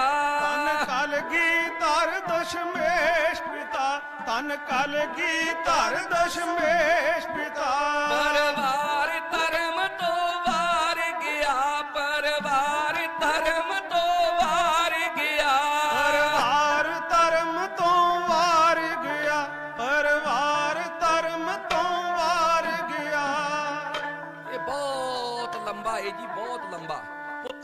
ਦੀਆਂ ਹੱਡੀਆਂ ਦੇ ਉੱਤੇ ਸਿੱਖ ਕੌਮ ਦੇ ਮਹਿਲ ਉਸਾਰ ਗਿਆ। ਜੇ ਨੀਆਂ 'ਚ ਪੁੱਤਰ ਨਾ ਚੜਵਾਏ ਹੁੰਦੇ, ਜੇ ਇੱਥੇ ਜ਼ੁਲਮ ਦੀਆਂ ਜੜਾਂ ਨਾ ਪੱਟੀਆਂ ਹੁੰਦੀਆਂ, ਅੱਜ ਇਹ ਜੰਡ ਨਾ ਹੁੰਦਾ। ਅੱਜ ਕੋਇਲਾ ਨਾ ਕੂਕਦੀਆਂ ਹੁੰਦੀਆਂ। ਅੱਜ ਇਹ ਦਰਬਾਰ ਨਾ ਹੁੰਦਾ। ਅੱਜ ਸਟੇਜ ਨਾ ਲੱਗੀ ਹੁੰਦੀ। ਅੱਜ ਜੋਤ ਪ੍ਰਕਾਸ਼ ਸਤਿਗੁਰਾਂ ਦਾ ਇਹ ਪ੍ਰਕਾਸ਼ ਨਾ ਹੁੰਦਾ, ਅੱਜ ਤੁਸੀਂ ਚੌਂਕੜੇ ਮਾਰ ਕੇ ਨਾ ਬੈੰਦੇ ਇਹ ਲਹੂ ਡੁੱਲੇ ਦਾ ਨਤੀਜਾ ਏ। ਉਸ ਦਾਤੇ ਦੇ ਚੋਜ ਨਿਆਰੇ ਨੇ ਨਿੱਕੀ ਉਮਰ ਪਿਤਾ ਜੀ ਵਾਰੇ ਨੇ ਵਿੱਚ ਦਿੱਲੀ ਖੂਨ ਗੁਰੂ ਜੀ ਦਾ ਰੂ ਚਾਂਦਨੀ ਚੌਂਕ ਦੀ ਠਾਰ ਗਿਆ ਧਨ ਕਲਗੀ ਧਰ ਦਸ਼ਮੇਸ਼ ਪਿਤਾ ਪਰਿਵਾਰ ਧਰਮ ਤੋਂ। ਵਾਰ ਗਿਆ। ਪੌਣੇ 42 ਸਾਲ ਇੱਕ ਮਿੰਟ ਵੀ ਨਹੀਂ ਚੈਨ ਨਾਲ ਬੈਠ ਸਕੇ। ਕਾਦਾ ਕਰਕੇ? ਪੰਥ ਵਸੇ ਮੈਂ ਉਜੜਾ। ਇਹ ਪੜਿਆ ਕਰੋ ਵਾਸਤਾ ਜੇ ਤੁਹਾਨੂੰ ਜੇ ਬਚਣਾ ਜੇ ਜੇ ਆਉਣ ਵਾਲੀਆਂ ਨਸਲਾਂ ਬਚਾਉਣੀਆਂ ਜੇ ਜੇ ਆਪਣਾ ਧਨ ਦੌਲਤ ਧਨ ਦੌਲਤ ਤੇ ਬੱਚੇ ਹੁੰਦੇ ਨੇ ਕਰਮਾਂ ਵਾਲਿਓ, ਜੇ ਵਿਰਸਾ ਬਚਾਉਣਾ ਜੇ ਜੇ ਜਿਉਂਦੇ ਰਹਿਣਾ ਜੇ, ਸਦਾ ਅਮਰ ਜੀਵਨ ਲੈਣਾ ਜੇ, ਤੇ ਗੁਰੂ ਜੀ ਦਾ ਨਾਮ ਜਪ ਲਓ, ਮਾਤਾ ਗੁਜਰੀ ਨੂੰ ਧਿਆ ਲਓ, ਸਤਿਗੁਰੂ ਗ੍ਰੰਥ ਸਾਹਿਬ ਜੀ ਦੇ ਲੜ ਲੱਗ ਜਾਓ, ਪਿੰਡਾਂ ਚੋਂ ਨਫ਼ਰਤ ਖਤਮ ਕਰ ਦਿਓ, ਈਰਖਾ ਖਤਮ ਕਰ ਦਿਓ। ਇਹ ਗੁਰੂ ਦਾ ਉਪਦੇਸ਼ ਹੈ ਮਹਾਰਾਜ ਨੇ ਕਿਰਪਾ ਕੀਤੀ ਹੈ ਨਹੀਂ ਤੇ ਕਾਲ ਨੱਚ ਰਿਹਾ ਏ, ਜਲ ਕਹਾਂ, ਥਲ ਕਹਾਂ, ਗਗਨ ਕੇ ਕੌਣ ਕਹਾਂ, ਕਾਲ ਕੇ ਬਣਾਏ ਸਵੇ, ਕਾਲ ਹੀ ਮਿਟਾਏ ਹੈ। ਇਹ ਵਿਖਾਤਾ ਸੀ ਨਕਸ਼ਾ। ਦਰਿਆ ਜਮਨਾ ਦੇ ਕੰਢੇ ਉੱਤੇ। ਅਗਲੇ ਸਾਲ ਦੱਸਾਂਗਾ ਇਹਦੇ ਅਰਥ। ਆ ਜਿਹੜਾ ਮੈਂ ਹੁਣ ਬਚਨ ਬੋਲਿਆ, ਜਲ ਕਹਾਂ, ਥਲ ਕਹਾਂ ਗगन ਕੇ ਕੌਣ ਕਹਾਂ। ਇਹ ਅਗਲੇ ਸਾਲ, ਜਾਂ ਜਦੋਂ ਕਿਤੇ ਸੱਦ ਲਿਓ, ਇਹ ਕੱਲਾ ਹੁਣ ਬਾਬਾ ਜੀ ਦੇ ਜੁਮੇ ਨਾ ਲਾਓ, ਪਿੰਡਾਂ ਵਿੱਚ ਵੀ ਸੱਦਿਆ ਕਰੋ। ਬੱਚੇ ਆ ਤੁਹਾਡੇ। ਸਾਡਾ ਧਿਆਨ ਇੱਧਰ ਹੀ ਰਹਿੰਦਾ ਏ। ਕੌਮ ਸੱਦੇ ਤੇ ਅਸੀਂ ਜਾ ਕੇ ਸੇਵਾ ਕਰੀਏ। ਤੇ ਬਾਕੀ ਅਸਾਂ ਨੂੰ ਸੁਣਨਾ ਏ ਤੇ ਐਦਾਂ ਦਾ ਮਾਹੌਲ ਚਾਹੀਦਾ। ਇਹ ਨਹੀਂ ਕਿ ਅਸੀਂ ਗਾਈਏ ਤੇ ਤੁਸੀਂ ਸਮੋਸੇ ਉਧਰ ਵਰਤਾਉਣ ਲੱਪੋ ਨਗਰ ਕੀਰਤਨਾਂ 'ਚ ਇਦਾਂ ਹੀ ਹੁੰਦਾ ਨਾ। ਮਾਫ ਕਰਨਾ ਗੁਰੂ ਪਿਆਰ ਵਾਲਿਓ, ਇਹ ਵਾਹਿਗੁਰੂ ਦੀ ਕਿਰਪਾ ਹੈ ਆਓ ਮੈਂ ਜਿਹੜੀ ਬੇਨਤੀ ਕਰਨ ਲੱਗਾ, ਮਹਾਰਾਜ ਦੀ ਵੱਖੀ ਵਿੱਚ ਖੰਜਰ ਖੁੱਬਾ ਹੋਇਆ ਏ, ਖੰਜਰ ਛੱਡ ਦਿੱਤਾ ਪਾਪੀਆਂ ਨੇ। ਲਹੂ ਵਗ ਰਿਹਾ ਏ। ਪਰ ਕਿੰਨਾ ਕੁ ਟਾਈਮ ਲੱਗਾ, ਉਹਨੇ ਖੰਜਰ ਕੱਢਿਆ ਤੇ ਖੋਬ ਦਿੱਤਾ। ਪਰ ਉਹਦੇ ਨਾਲੋਂ ਕਰੋੜਾਂ ਗੁਣਾ ਤੇਜ਼ ਫੁਰਤੀ ਨਾਲ ਯਕਮੀ ਸਤਿਗੁਰੂ ਨੇ ਸੂਰਮੇ ਸਤਿਗੁਰੂ ਨੇ ਛਰ ਕਰਕੇ ਮਿਆਨ ਚੋਂ ਕਿਰਪਾਨ ਕੱਢੀ। ਕਰਕੇ ਤੇਗ ਦਾ ਭਰਮਾ ਵਾਰ ਤੇ ਜਮਸ਼ੈਦ ਖਾਨ ਦਾ ਸਿਰ ਧੜ ਤੋਂ ਜੁਦਾ ਕਰ ਦਿੱਤਾ। ਗੱਜ ਕੇ ਆਖੋ, ਸਤਨਾਮ। ਜਦੋਂ ਤੇਗ ਦਾ ਵਾਰ ਕੀਤਾ ਨਾ ਮਹਾਰਾਜ ਨੇ ਉਹਦੇ ਉੱਤੇ, ਕਹਿੰਦਾ, ਹਾਏ ਅੰਮਾ। ਸਤਿਗੁਰੂ ਕਹਿੰਦੇ, ਬੱਲੇ ਉਹ ਪਠਾਣਾ। ਕੱਲਾ ਵਾਰ ਕਰਨਾ ਹੀ ਆਉਂਦਾ, ਝੱਲਣਾ ਨਹੀਂ ਆਉਂਦਾ। ਜੇ ਵਾਰ ਕਰਨਾ ਆਉਂਦਾ ਤੇ ਝੱਲਿਆ ਵੀ ਕਰੋ। ਹੁਣ ਅੰਮਾ ਕਹਿਣ ਦਾ ਵੇਲਾ ਨਹੀਂ, ਹੁਣ ਅੱਲਾ ਕਹਿਣ ਦਾ ਵੇਲਾ ਏ। ਸਿਰ ਉਹ ਪਿਆ ਤੇ ਧੜ ਉਹ ਪਿਆ। ਦੋ ਵਾਰ ਹੋਏ, ਇੱਕ ਮਹਾਰਾਜ ਦੇ ਉੱਤੇ ਤੇ ਇੱਕ ਪਠਾਨ ਉੱਤੇ ਪਹਿਰੇਦਾਰ ਸੁਚੇਤ ਹੋ ਗਿਆ। ਇਹ ਕੀ ਭਾਣਾ ਵਾਪਰ ਗਿਆ? ਓਏ ਹੋਏ ਹੋਏ, ਗੋਲਖਾਂ ਭਾਈ ਤੁਰਿਆ। ਮਾਰ ਕੇ ਠਿੱਬੀ, ਸਿੱਟ ਲਿਆ ਧਰਤੀ ਦੇ ਉੱਤੇ। ਹਾਲੇ ਸਿੰਘ ਮਿਆਨ ਚੋਂ ਤੇਗ ਕੱਢਣ ਹੀ ਲੱਗਾ ਸੀ, ਪਿੱਛੋਂ ਜਥੇਦਾਰ ਜੀ ਦਾ ਹੁਕਮ ਆ ਗਿਆ। ਕਹਿੰਦੇ ਉਹ ਵੇਖਿਓ ਇਹਨੂੰ ਵੱਢ ਨਾ ਦਿਓ, ਰੁਕ ਜਾਓ। ਜਦੋਂ ਪੁੱਠਾ ਲੱਗੇ ਨਾ ਟੰਗਣ ਤੇ ਪਠਾਨ ਜਿਹੜੀ ਗੱਲ ਸਿੰਘਾਂ ਨੇ ਪੁੱਛਣੀ ਸੀ, ਜੇ ਕਿਤੇ ਵੜ ਦਿੰਦੇ ਤੇ ਉਹ ਭੇਤ ਭੇਤ ਹੀ ਰਹਿ ਜਾਣਾ ਸੀ। ਵੀ ਮਹਾਰਾਜ ਦੇ ਉੱਤੇ ਹਮਲਾ ਕਰਵਾਇਆ ਕਿਨੇ ਭੇਤ ਰਹਿ ਜਾਣਾ ਸੀ। ਜਦੋਂ ਸਿੰਘ ਲੱਗੇ, ਪੁੱਠਾ ਟੰਗਣ ਤੇ ਬਕ ਪਿਆ। ਵਾਸਤਾ ਜੇ ਤੁਹਾਨੂੰ ਤੁਹਾਡੇ ਗੁਰੂ ਗੋਬਿੰਦ ਸਿੰਘ ਦਾ ਜਾਓ ਜ਼ਖਮੀ ਗੁਰੂ ਨੂੰ ਸੰਭੋ। ਇਹ ਕੰਮ ਕਰਵਾਇਆ ਹੀ ਸਰਹੰਦ ਵਾਲੇ ਸੂਬੇਦਾਰ ਨੇ। ਆ 50000 ਰੁਪਇਆ ਉਹਨੇ ਪਹਿਲਾਂ ਦਿੱਤਾ ਤੇ 1.5 ਲੱਖ ਹੁਣ ਮੈਂ ਜਾ ਕੇ ਲੈਣਾ ਸੀ। ਉਹਨੂੰ ਫਿਕਰ ਪੈ ਗਿਆ ਕਿ ਬਹਾਦਰ ਸ਼ਾਹ ਨਾਲ ਸਮਝੌਤਾ ਹੋ ਗਿਆ ਤੇ ਕਿਤੇ ਬਹਾਦਰ ਸ਼ਾਹ ਦੇ ਕੋਲੋਂ ਗੁਰੂ ਮੈਨੂੰ ਨਾ ਮੰਗ ਲਵੇ ਨੱਖ ਪਾਉ ਨੱਥ। 2 ਲੱਖ ਰੁਪਇਆ ਮੁੱਲ ਪਾਇਆ, ਇਹ ਸਿੰਘਾਂ ਨੇ ਗੱਲ ਨੋਟ ਕਰ ਲਈ, ਪਰ ਜਦੋਂ ਦੌੜ ਕੇ ਅੰਦਰ ਗਏ, ਗੁਰੂ ਗੋਬਿੰਦ ਸਿੰਘ ਜੀ ਦਾ ਡੁੱਲਦਾ ਲਹੂ ਦੇਖਿਆ ਤੇ ਕਹਿੰਦੇ ਨੇ ਕਈਆਂ ਨੂੰ ਗਸ਼ੀਆਂ ਪੈ ਗਈਆਂ ਗਸ਼ੀਆਂ, ਧਾਹਾਂ ਮਾਰ ਕੇ ਕੁਰਲਾ ਉੱਠੀ ਕੌਮ। ਫੱਟ ਬੰਨਾਂ ਨੂੰ ਸੱਦਿਆ ਗਿਆ। ਸੱਦ ਲੈ ਫੱਟ ਬੰਨ। ਉਹਨਾਂ ਨੇ ਆਣ ਕੇ ਜ਼ਖਮ ਦੇ ਵਿੱਚੋਂ, ਖੰਜਰ ਜਿਸਮ ਦੇ ਵਿੱਚੋਂ ਕੱਢਿਆ। ਅੰਤੜੀਆਂ ਨੂੰ ਦਵਾਈ ਲਾਈ, ਪੱਟੀ ਕਰ ਦਿੱਤੀ ਗਈ। ਤੁਹਾਡੇ ਬੱਚੇ ਨੇ ਖੋਜਾਂ ਕੀਤੀਆਂ ਨੇ। ਉਸ ਵੇਲੇ ਇੰਗਲੈਂਡ ਦੀ ਧਰਤੀ ਤੋਂ ਸਮੁੰਦਰੀ ਜਹਾਜ਼ ਇੱਥੇ ਆਉਂਦੇ ਸੀ, ਕਲਕੱਤੇ ਬੰਦਰਗਾਹ ਤੇ। ਸਾਡੇ ਦੇਸ਼ ਦਾ ਬੇੜਾ ਗਰਕ ਸ਼ਾਹਜਹਾਨ ਨੇ ਕੀਤਾ, ਅੰਗਰੇਜ਼ਾਂ ਨੂੰ ਇੱਥੇ ਲਿਆਉਣ ਵਾਲਾ ਉਹ ਆ। ਉਹ ਕਿਦਾਂ ਸੀ? ਉਹ ਲੰਬੀਆਂ ਗੱਲਾਂ ਨੇ। ਮਾਫੀ ਚਾਹਣਾ ਇਹਦੀ ਧੀ ਸੀ ਰੋਸ਼ਨਾਰਾ, ਬਿਮਾਰ ਹੋ ਗਈ, ਔਰੰਗਜ਼ੇਬ ਦੀ ਭੈਣ। ਤੇ ਵੈਦ ਕਹਿੰਦੇ ਜੀ, ਇਹਦਾ ਇਲਾਜ ਸਾਡੇ ਕੋਲ ਨਹੀਂ ਹੋਣਾ, ਇੰਗਲੈਂਡ 'ਚ ਇੱਕ ਡਾਕਟਰ ਬਾਟਨ ਨੇ, ਉਹ ਕਰ ਸਕਦਾ ਹੈ। ਸ਼ਾਹਜਹਾਨ ਨੇ ਜਹਾਜ਼ ਘੱਲਿਆ, ਸਮੁੰਦਰੀ ਬਾਟਨ ਡਾਕਟਰ ਅੰਗਰੇਜ਼ ਮੰਗਵਾ ਲਿਆ। ਉਹਨੇ ਉਹਦੀ ਧੀ ਦਾ ਇਲਾਜ ਕੀਤਾ। ਔਰੰਗਜ਼ੇਬ ਦੀ ਭੈਣ। ਤੇ ਵੈਦ ਕਹਿੰਦੇ ਜੀ ਇਹਦਾ ਇਲਾਜ ਸਾਡੇ ਕੋਲ ਨਹੀਂ ਹੋਣਾ। ਇੰਗਲੈਂਡ 'ਚ ਇੱਕ ਡਾਕਟਰ ਬਾਟਨ ਨੇ ਉਹ ਕਰ ਸਕਦਾ ਹੈ। ਸ਼ਾਹਜਹਾਨ ਨੇ ਜਹਾਜ਼ ਘੱਲਿਆ, ਸਮੁੰਦਰੀ ਬਾਟਨ ਡਾਕਟਰ ਅੰਗਰੇਜ਼ ਮੰਗਵਾ ਲਿਆ। ਉਹਨੇ ਉਹਦੀ ਧੀ ਦਾ ਇਲਾਜ ਕੀਤਾ। ਆਪਣੀ ਫੀਸ ਲੈ ਲਈ, ਬਾਦਸ਼ਾਹ ਮੂਰਖ ਸੀ ਸ਼ਾਹਜਹਾਨ ਖੁਸ਼ ਹੋ ਕੇ ਕਹਿੰਦਾ, ਮੰਗ। ਉਹ ਕਹਿੰਦਾ, ਜੀ, ਡਾਕਟਰ ਨੂੰ ਫੀਸ ਮਿਲ ਗਈ ਆ, ਮੈਨੂੰ ਮੇਰੇ ਦੇਸ਼ ਛੱਡਿਆਓ ਇਹ ਤੋਂ ਪਹਿਲਾਂ ਅਕਬਰ ਦੇ ਵੇਲੇ ਅੰਗਰੇਜ਼ ਆਏ ਸੀ। ਅਕਬਰ ਦੀ ਅੱਖ ਬੜੀ ਤੇਜ਼ ਏ। ਵਪਾਰੀ ਕਹਿੰਦੇ ਜੀ ਇਹ ਵਪਾਰ ਕਰਨ ਆਏ ਆ। ਉਹ ਕਹਿੰਦਾ ਇਹ ਬੜੇ ਸ਼ਾਤਰ ਬੰਦੇ ਆ। ਕਲਕੱਤੇ ਬੰਦਰਕਾ ਬਣਾ ਦਿਓ। ਇਹਨਾਂ ਦੇ ਪਾਕ, ਇਹਨਾਂ ਦੇ ਜਿਹੜੇ ਆਪਾਪੀ ਪੈਰ ਆ ਨਾ, ਭਾਰਤ ਦੀ ਧਰਤੀ ਤੇ ਨਹੀਂ ਪੈਣੇ ਚਾਹੀਦੇ। ਤੁਸੀਂ ਜਹਾਜ਼ ਉੱਤੇ ਚੜ ਕੇ ਸਮਾਨ ਇਹਨਾਂ ਨੂੰ ਇਧਰਲਾ ਦੇ ਆਇਆ ਕਰੋ ਤੇ ਉਧਰਲਾ ਇਹਨਾਂ ਦੇ ਕੋਲੋਂ ਲੈ ਲਿਆ ਕਰੋ। ਇਹਨਾਂ ਦੇ ਪੈਰ ਜਹਾਜ਼ ਤੋਂ ਥੱਲੇ ਨਹੀਂ ਉਤਰਨੇ ਚਾਹੀਦੇ। ਹੁਣ ਵਫਾਦਾਰੀ ਵੇਖਿਓ। ਮੂਰਖ ਸ਼ਾਹਜਹਾਨ ਕਹਿੰਦਾ ਆਖਰੀ ਵਾਰ ਪੁੱਛਣ ਲੱਗਾ ਤੈਨੂੰ। ਡਾਕਟਰ ਨੂੰ ਕਹਿੰਦਾ, ਮੇਰੀ ਧੀ ਦਾ ਇਲਾਜ ਕੀਤਾ।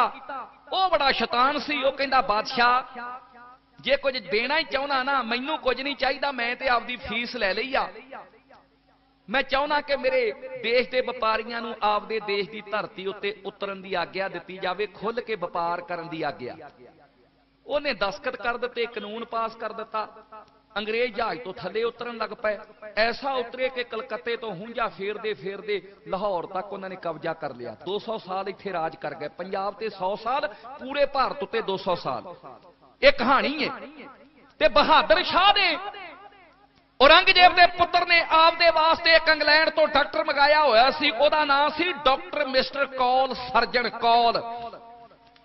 ਉਹ ਕੌਲ ਸਰਜਨ ਨੂੰ ਕਹਿੰਦਾ, ਮੇਰੇ ਗੁਰੂ ਤੇ ਹਮਲਾ ਹੋਇਆ, ਜਾ ਜਾ ਕੇ ਗੁਰੂ ਜੀ ਦਾ ਇਲਾਜ ਕਰ। ਉਹ ਆਇਆ। ਮਹਾਰਾਜ ਕਲਗੀਧਰ ਦਾ ਆਪਰੇਸ਼ਨ ਮਿਸਟਰ ਕੌਲ ਨੇ ਕੀਤਾ ਜੀ। ਉਹਨੇ ਜ਼ਖਮ ਖੋਲਿਆ। ਆਪਰੇਸ਼ਨ ਕਰਕੇ ਟਾਂਕੇ ਲਾ ਕੇ ਦਵਾਈ ਭਰ ਕੇ ਜ਼ਖਮ ਸੀ ਦਿੱਤਾ। ਪਰ ਆਪਣੀ ਡਾਇਰੀ ਵਿੱਚ ਉਹ ਲਿਖ ਗਿਆ, ਕਹਿੰਦਾ ਇਦਾਂ ਦਾ ਇਨਸਾਨੀ ਜਾਮੇ ਵਿੱਚ ਮਨੁੱਖ ਮੈਂ ਕਦੇ ਵੀ ਨਹੀਂ ਦੇਖਿਆ ਜਿੱਦਾਂ ਦਾ ਗੁਰੂ ਗੋਬਿੰਦ ਸਿੰਘ ਦੇਖਿਆ। ਮੈਂ ਮਹਾਰਾਜ ਨੂੰ ਬੇਹੋਸ਼ ਨਹੀਂ ਕੀਤਾ। ਉਹਨਾਂ ਦੇ ਮੈਂ ਟਾਂਕੇ ਲਾ ਰਿਹਾ ਸੀ ਆਪਰੇਸ਼ਨ ਕਰ ਰਿਹਾ ਤੇ ਗੁਰੂ ਜੀ ਰੱਬ ਦੀ ਯਾਦ ਵਿੱਚ ਜੁੜੇ ਹੋਏ ਮੇਰੇ ਵੱਲ ਦੇਖ ਕੇ ਹੱਸਦੇ ਰਹਿ। ਜਦੋਂ ਆਪਰੇਸ਼ਨ ਹੋ ਗਿਆ ਤੇ ਅੱਧਾ ਕਿਲੋ ਸੋਨਾ ਦਿੱਤਾ ਮਹਾਰਾਜ ਨੇ ਬੁੱਕ ਭਰ ਕੇ 51 ਮੋਹਰਾਂ ਦਿੱਤੀਆਂ ਸੋਨੇ ਦੀਆਂ ਇੱਕ ਵਾਰੀ ਗੱਜ ਕੇ ਆਖੋ ਸਤਨਾਮ। ਸ੍ਰੀ ਵਾਹਿਗੁਰੂ। ਅੱਧਾ ਕਿਲੋ ਤੋਂ ਇੱਕ ਤੋਲਾ ਉੱਤੇ। ਪੱਟੀ ਕਰਨ ਆਏ ਨੂੰ 11 ਮੋਹਰਾਂ ਸੋਨੇ ਦੀਆਂ ਦੰਦੇ। 15 ਦਿਨਾਂ 'ਚ ਜ਼ਖਮ ਹਟ ਗਿਆ। ਮਹਾਰਾਜ ਨੂੰ ਕਹਿੰਦੇ ਮਲ ਮਲ ਕੇ ਸਿੱਖਾਂ ਨੇ ਦਹੀਂ ਮਲ ਮਲ ਕੇ, ਦੁੱਧ ਮਲ ਮਲ ਕੇ, ਚਾਹ ਹੈ। ਕਿਉਂਕਿ ਕਲਗੀ ਵਾਲੇ ਪਾਤਸ਼ਾਹ ਕਹਿੰਦੇ ਸਿੱਖ, ਅੱਜ ਦੀਵਾਲੀ ਆਈ ਹੈ ਤੇ ਆਪਾਂ ਰਲ ਕੇ ਦੀਵਾਲੀ। 15 16 ਦਿਨਾਂ ਵਿੱਚ ਇਹ ਖੇਡ ਵਾਪਰ ਗਈ। ਪਰ ਏਦਾਂ ਦੀ ਦੀਵਾਲੀ ਕਦੇ ਆਵੇ ਨਾ। ਇਸ਼ਨਾਨ ਕੀਤਾ ਬਾਜਾਂ ਵਾਲੇ ਨੇ। ਕੱਪੜੇ ਪਹਿਨੇ, ਬੜੇ ਸੁੰਦਰ ਵਸਤਰ ਚਾਹ ਚੜ ਗਿਆ ਬੱਚੇ ਤੋਂ ਲੈ ਕੇ ਬੁੱਢਿਆਂ ਤੱਕ, ਹਰ ਮਾਂ ਧੀ ਭੈਣ ਵੀਰ। ਹਰ ਇੱਕ ਦੇ ਜਥੇਦਾਰਾਂ ਦੇ ਚਿਹਰਾਂ ਤੇ ਖੁਸ਼ੀ ਹੈ। ਅੱਜ ਸਾਡੇ ਸਤਿਗੁਰੂ ਜੀ ਤੰਬੂ ਚੋਂ ਬਾਹਰ ਆਣ ਕੇ ਤਖਤ ਉੱਤੇ ਬਹਿ ਕੇ ਸਾਨੂੰ ਦਰਸ਼ਨ ਦੇਣਗੇ। ਮਹਾਰਾਜ ਨੇ ਖੇਡ ਵਰ ਰਚ ਦਿੱਤੀ। ਸੱਚੇ ਪਾਤਸ਼ਾਹ ਕਹਿੰਦੇ, ਦਇਆ ਸਿੰਘ, ਜੀ ਮਹਾਰਾਜ, ਕਹਿੰਦੇ, ਸਾਡੇ ਲਾਗੇ ਤਖਤ ਦੇ ਪਲੰਗ ਢਾ ਦਿਓ। ਸਾਡੇ ਜਿੰਨੇ ਵੀ ਸ਼ਸਤਰਾਂ ਧਿਆਨ ਕੇ ਪਲੰਗ ਦੇ ਉੱਤੇ ਪ੍ਰਕਾਸ਼ ਕਰ ਦਿਓ। ਅਸੀਂ ਸ਼ਸਤਰਾਂ ਦੇ ਦਰਸ਼ਨ ਕਰਨੇ ਚਾਹੁੰਦੇ ਆ ਅਸੀਂ ਸ਼ਸਤਰ ਵੇਖਣੇ ਚਾਹੁੰਦੇ ਆ ਕਿਸੇ ਨੇ ਇੱਕ ਬਹੁਤ ਭਾਰੀ ਕਮਾਨ ਮਹਾਰਾਜ ਦੇ ਚਰਨਾਂ ਵਿੱਚ ਭੇਟ ਕੀਤੀ ਆ, ਉਹ ਵੀ ਉੱਥੇ ਰੱਖ ਦਿੱਤੀ। ਬਹਾਦਰ ਸ਼ਾਹ ਦੇ ਵਜ਼ੀਰਾਂ ਨੂੰ ਕਹਿੰਦਾ, ਮੈਨੂੰ ਪਤਾ ਲੱਗਾ ਕਿ ਗੁਰੂ ਮਹਾਰਾਜ ਸਿੱਖਾਂ ਨੂੰ ਦਰਸ਼ਨ ਦੇ ਰਹੇ, ਤਖਤ ਉੱਤੇ ਬੈਠੇ ਦੀਵਾਲੀ ਮਨਾ ਰਹੇ ਆ। ਲੈ ਲਓ ਸੁੱਚੇ ਮੋਤੀ, ਸੋਨੇ ਚਾਂਦੀ ਦੇ ਥਾਲ ਭਰ ਲਓ, ਮਠਿਆਈਆਂ ਲੈ ਲਓ, ਫਰੂਟ ਲੈ ਲਓ। ਜਾਓ ਗੁਰੂ ਮਹਾਰਾਜ ਦੇ ਚਰਨਾਂ ਵਿੱਚ ਮੇਰੇ ਵੱਲੋਂ ਇਹ ਵਸਤੂਆਂ ਰੱਖ ਕੇ ਤੇ ਮਹਾਰਾਜ ਨੂੰ ਦੀਵਾਲੀ ਮੁਬਾਰਕ ਕਹਿ ਕੇ ਆਓ। ਇਹ ਰਾਜਨੀਤਿਕ ਪੈਂਤੜਾ ਹੁੰਦਾ ਹੈ ਜਦੋਂ ਪਾਪੀ ਆਏ ਨਾ ਮਹਾਰਾਜ ਨੂੰ ਕਹਿੰਦੇ, ਸਤਿਗੁਰੂ ਜੀ, ਬਾਦਸ਼ਾਹ ਵੱਲੋਂ ਦੀਵਾਲੀ ਮੁਬਾਰਕ। ਮੱਥਾ ਟੇਕਿਆ, ਖੜੇ ਹੋਏ। ਇਹਨਾਂ ਅਪਾਇੰਟ ਨੋਟ ਕਰੋ ਜੀ ਸਾਰੇ ਜਣੇ, ਬਿਰਤੀ ਲਾਂਬੇ ਨਾ ਜਾਵੇ। ਪਾਪੀਆਂ ਦੀ ਨਜ਼ਰ ਪੈ ਗਈ ਉਹਨਾਂ ਸ਼ਸਤਰਾਂ ਦੇ ਉੱਤੇ। ਭਾਰੀ ਕਮਾਨ ਵੇਖੀ, ਅੱਖਾਂ ਟੱਡੀਆਂ ਰਹਿ ਗਈਆਂ। ਇੱਕ ਵਜ਼ੀਰ ਕਹਿੰਦਾ, ਸੱਚੇ ਪਾਤਸ਼ਾਹ, ਸੁਭਾਨ ਅੱਲਾ ਆ ਜਿਹੜੇ ਸ਼ਸਤਰ ਵਾਏ ਚਲਾਉਣ ਵਾਸਤੇ ਰੱਖੇ ਆ ਕਿ ਉਦਾਂ ਹੀ ਵਿਖਾਉਣ ਵਾਸਤੇ ਰੱਖੇ ਆ? ਇਹਦੇ ਉੱਤੇ ਕੋਈ ਪ੍ਰਤੰਚਾ, ਇਹਦੇ ਤੇ ਕੋਈ ਕਮਾਨ ਦੇ ਉੱਤੇ ਤੀਰ ਚਲਾ ਸਕਦਾ? ਕਲਗੀ ਧਰ ਨੂੰ ਕੋਈ ਬੰਗਾਰੇ? ਮਹਾਰਾਜ ਚੁੱਪ ਰਹਿ ਜਾਣ। ਮਾਰ ਕੇ ਛਾਲ ਸੂਰਮਾ ਗੁਰੂ ਉੱਠ ਕੇ ਖੜੇ ਹੋ ਜਾਂਦੇ ਆ। ਕਹਿੰਦੇ ਉਹ ਬਹਾਦਰ ਸ਼ਾਹ ਦੇ ਵਜ਼ੀਰੋ ਕੀ ਕਹਿੰਦੇ ਹੋ? ਇਹਦੇ ਉੱਤੇ ਕੋਈ ਚੀਰ ਨਹੀਂ ਚੜਾ ਸਕਦਾ। ਭਾਈ ਦਇਆ ਸਿੰਘ ਜੀ, ਉਠੋ! ਭਾਈ ਦਇਆ ਸਿੰਘ ਜੀ, ਉੱਠ ਖਲੋਤੇ ਕੌਣ ਹੈ ਜਿਹੜਾ ਗੁਰੂ ਗੋਬਿੰਦ ਸਿੰਘ ਜੀ ਨੂੰ ਡੱਕੇ ਕਿ ਇਹਦੇ ਤੇ ਤੀਰ ਨਾ ਚਲਾਇਓ? ਕੋਈ ਡੱਕ ਸਕਦਾ? ਮਹਾਰਾਜ ਨੇ ਕਮਾਨ ਚੱਕੀ। ਅਕਾਲ ਪੁਰਖ ਨੂੰ ਧਿਆਇਆ। ਪੱਥੇ ਚੋਂ ਤੀਰ ਕੱਢਿਆ। ਜ਼ਖਮੀ ਸਤਿਗੁਰੂ 15 ਦਿਨ ਹੋਏ ਨੇ ਆਪਰੇਸ਼ਨ ਹੋਏ ਨੂੰ। ਜ਼ਖਮ ਭਰਿਆ ਏ ਕਰਮਾਂ ਤੇ ਭਾਗਾਂ ਵਾਲਿਓ। ਪਰ ਜਿਸ ਵੇਲੇ ਇਹ ਗੱਲ ਕਹੀ ਦੋ ਕਾਲੰ ਪ੍ਰਨਾਸੀ ਦੇ ਆਲੰ ਸਰੂਪੇ ਸਦਾ ਅੰਗ ਸੰਗੇ। ਅਪੰਗੰ ਬਪੂਤੇ। ਮੇਰੇ ਕਲਗੀ ਵਾਲੇ ਨੇ ਖਿੱਚ ਕੇ ਕਮਾਨ ਦੀ ਤੰਦੀ ਜਦੋਂ ਚਲਾਇਆ ਨਾ ਤੀਰ ਭਰਾਵੋ, ਵੇਖਣ ਵਾਲਿਆਂ ਦੀਆਂ ਅੱਖਾਂ ਖੁੱਲੀਆਂ ਰਹਿ ਗਈਆਂ, ਤੀਰ ਚੜ ਗਿਆ ਆਕਾਸ਼ ਨੂੰ, ਪਰ ਜਦੋਂ ਤੰਦੀ ਖਿੱਚਦੇ ਸੀ ਕੰਨ ਤੀਕਰਾਂ, ਕੜ ਕੜ ਕਰਕੇ ਜ਼ਖਮ ਦੇ ਟਾਂਕੇ ਖੁੱਲ ਗਏ, ਮਹਾਰਾਜ ਦੇ ਜਿਸਮ ਦੇ ਵਿੱਚੋਂ ਫਿਰ ਲਹੂ ਫੁੱਟ ਤੁਰਿਆ। ਧਿਆਨ ਦੇਣਾ ਜ਼ਰਾ। ਸਤਿਗੁਰੂ ਜੀ ਨੇ ਹੱਥ ਰੱਖਿਆ, ਕਮਾਨ ਸਿੰਘਾਂ ਨੇ ਫੜ ਲਈ, ਤਖਤ ਉੱਤੇ ਬਹਿ ਗਏ, ਲਹੂ ਡੁੱਲਦਾ ਗਿਆ।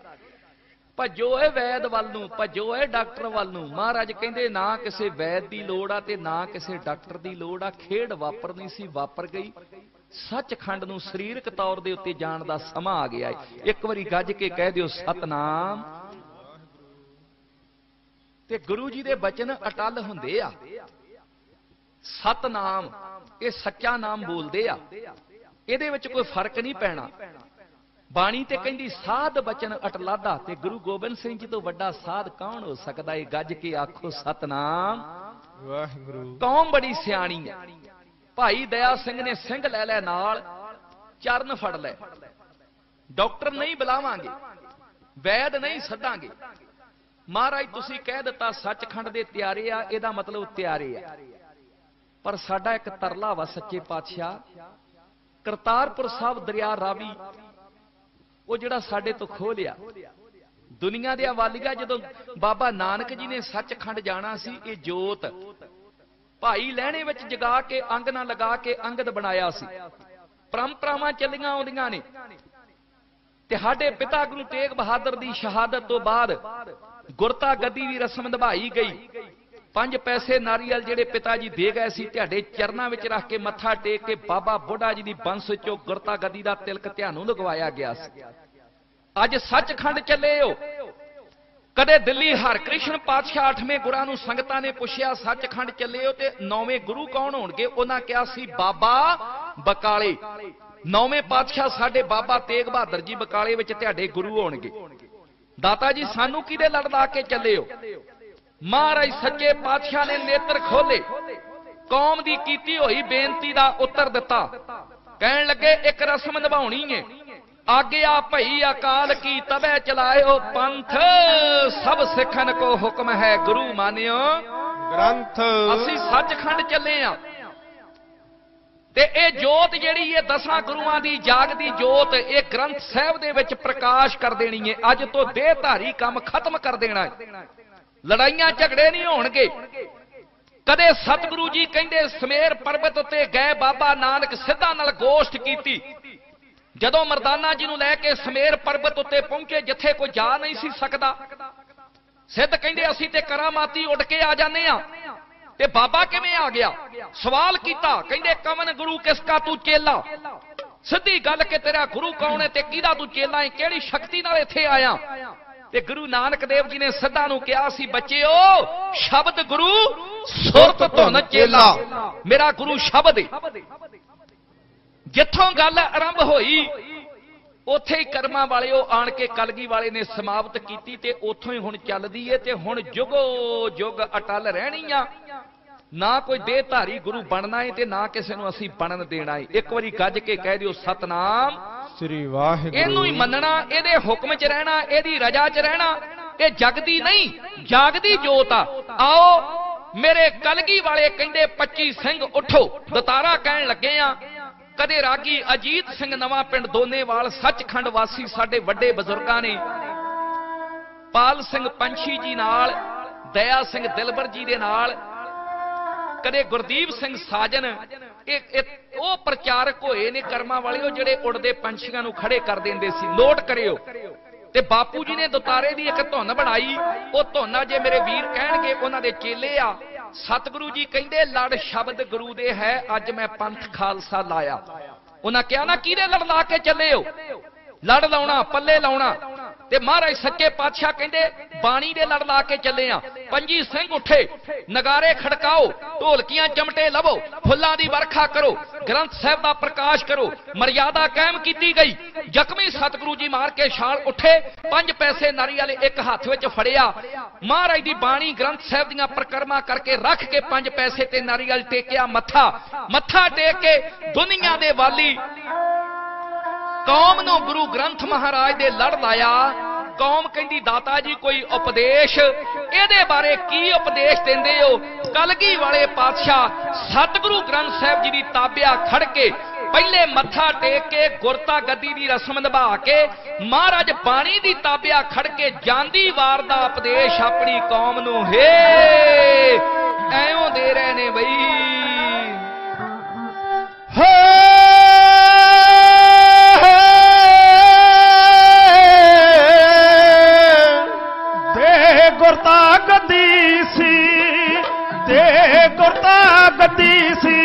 ਸੀ ਕਲਗੀ ਪੰਥ ਨੂੰ ਬੋਲੇ। ਜੋ ਸਾਂਭ ਕੇ ਰੱਖੇ ਸੀ, ਸਾਰੇ ਭੇਦ ਦਿਲਾਂ ਦੇ ਖੋਲੇ। ਮਨ ਹੁਕਮ ਅਕਾਲ ਦਾ ਮੈਂ, ਮਨ ਹੁਕਮ ਅਕਾਲ ਦਾ ਮੈਂ। ਇਹ ਜੋ ਖਾਲਸਾ ਪੰਥ ਸਜਾਇਆ ਲੜ ਸ਼ਬਦ ਗੁਰੂ ਦੇ ਹੈ। ਅੱਜ ਮੈਂ ਪੰਥ ਖਾਲਸਾ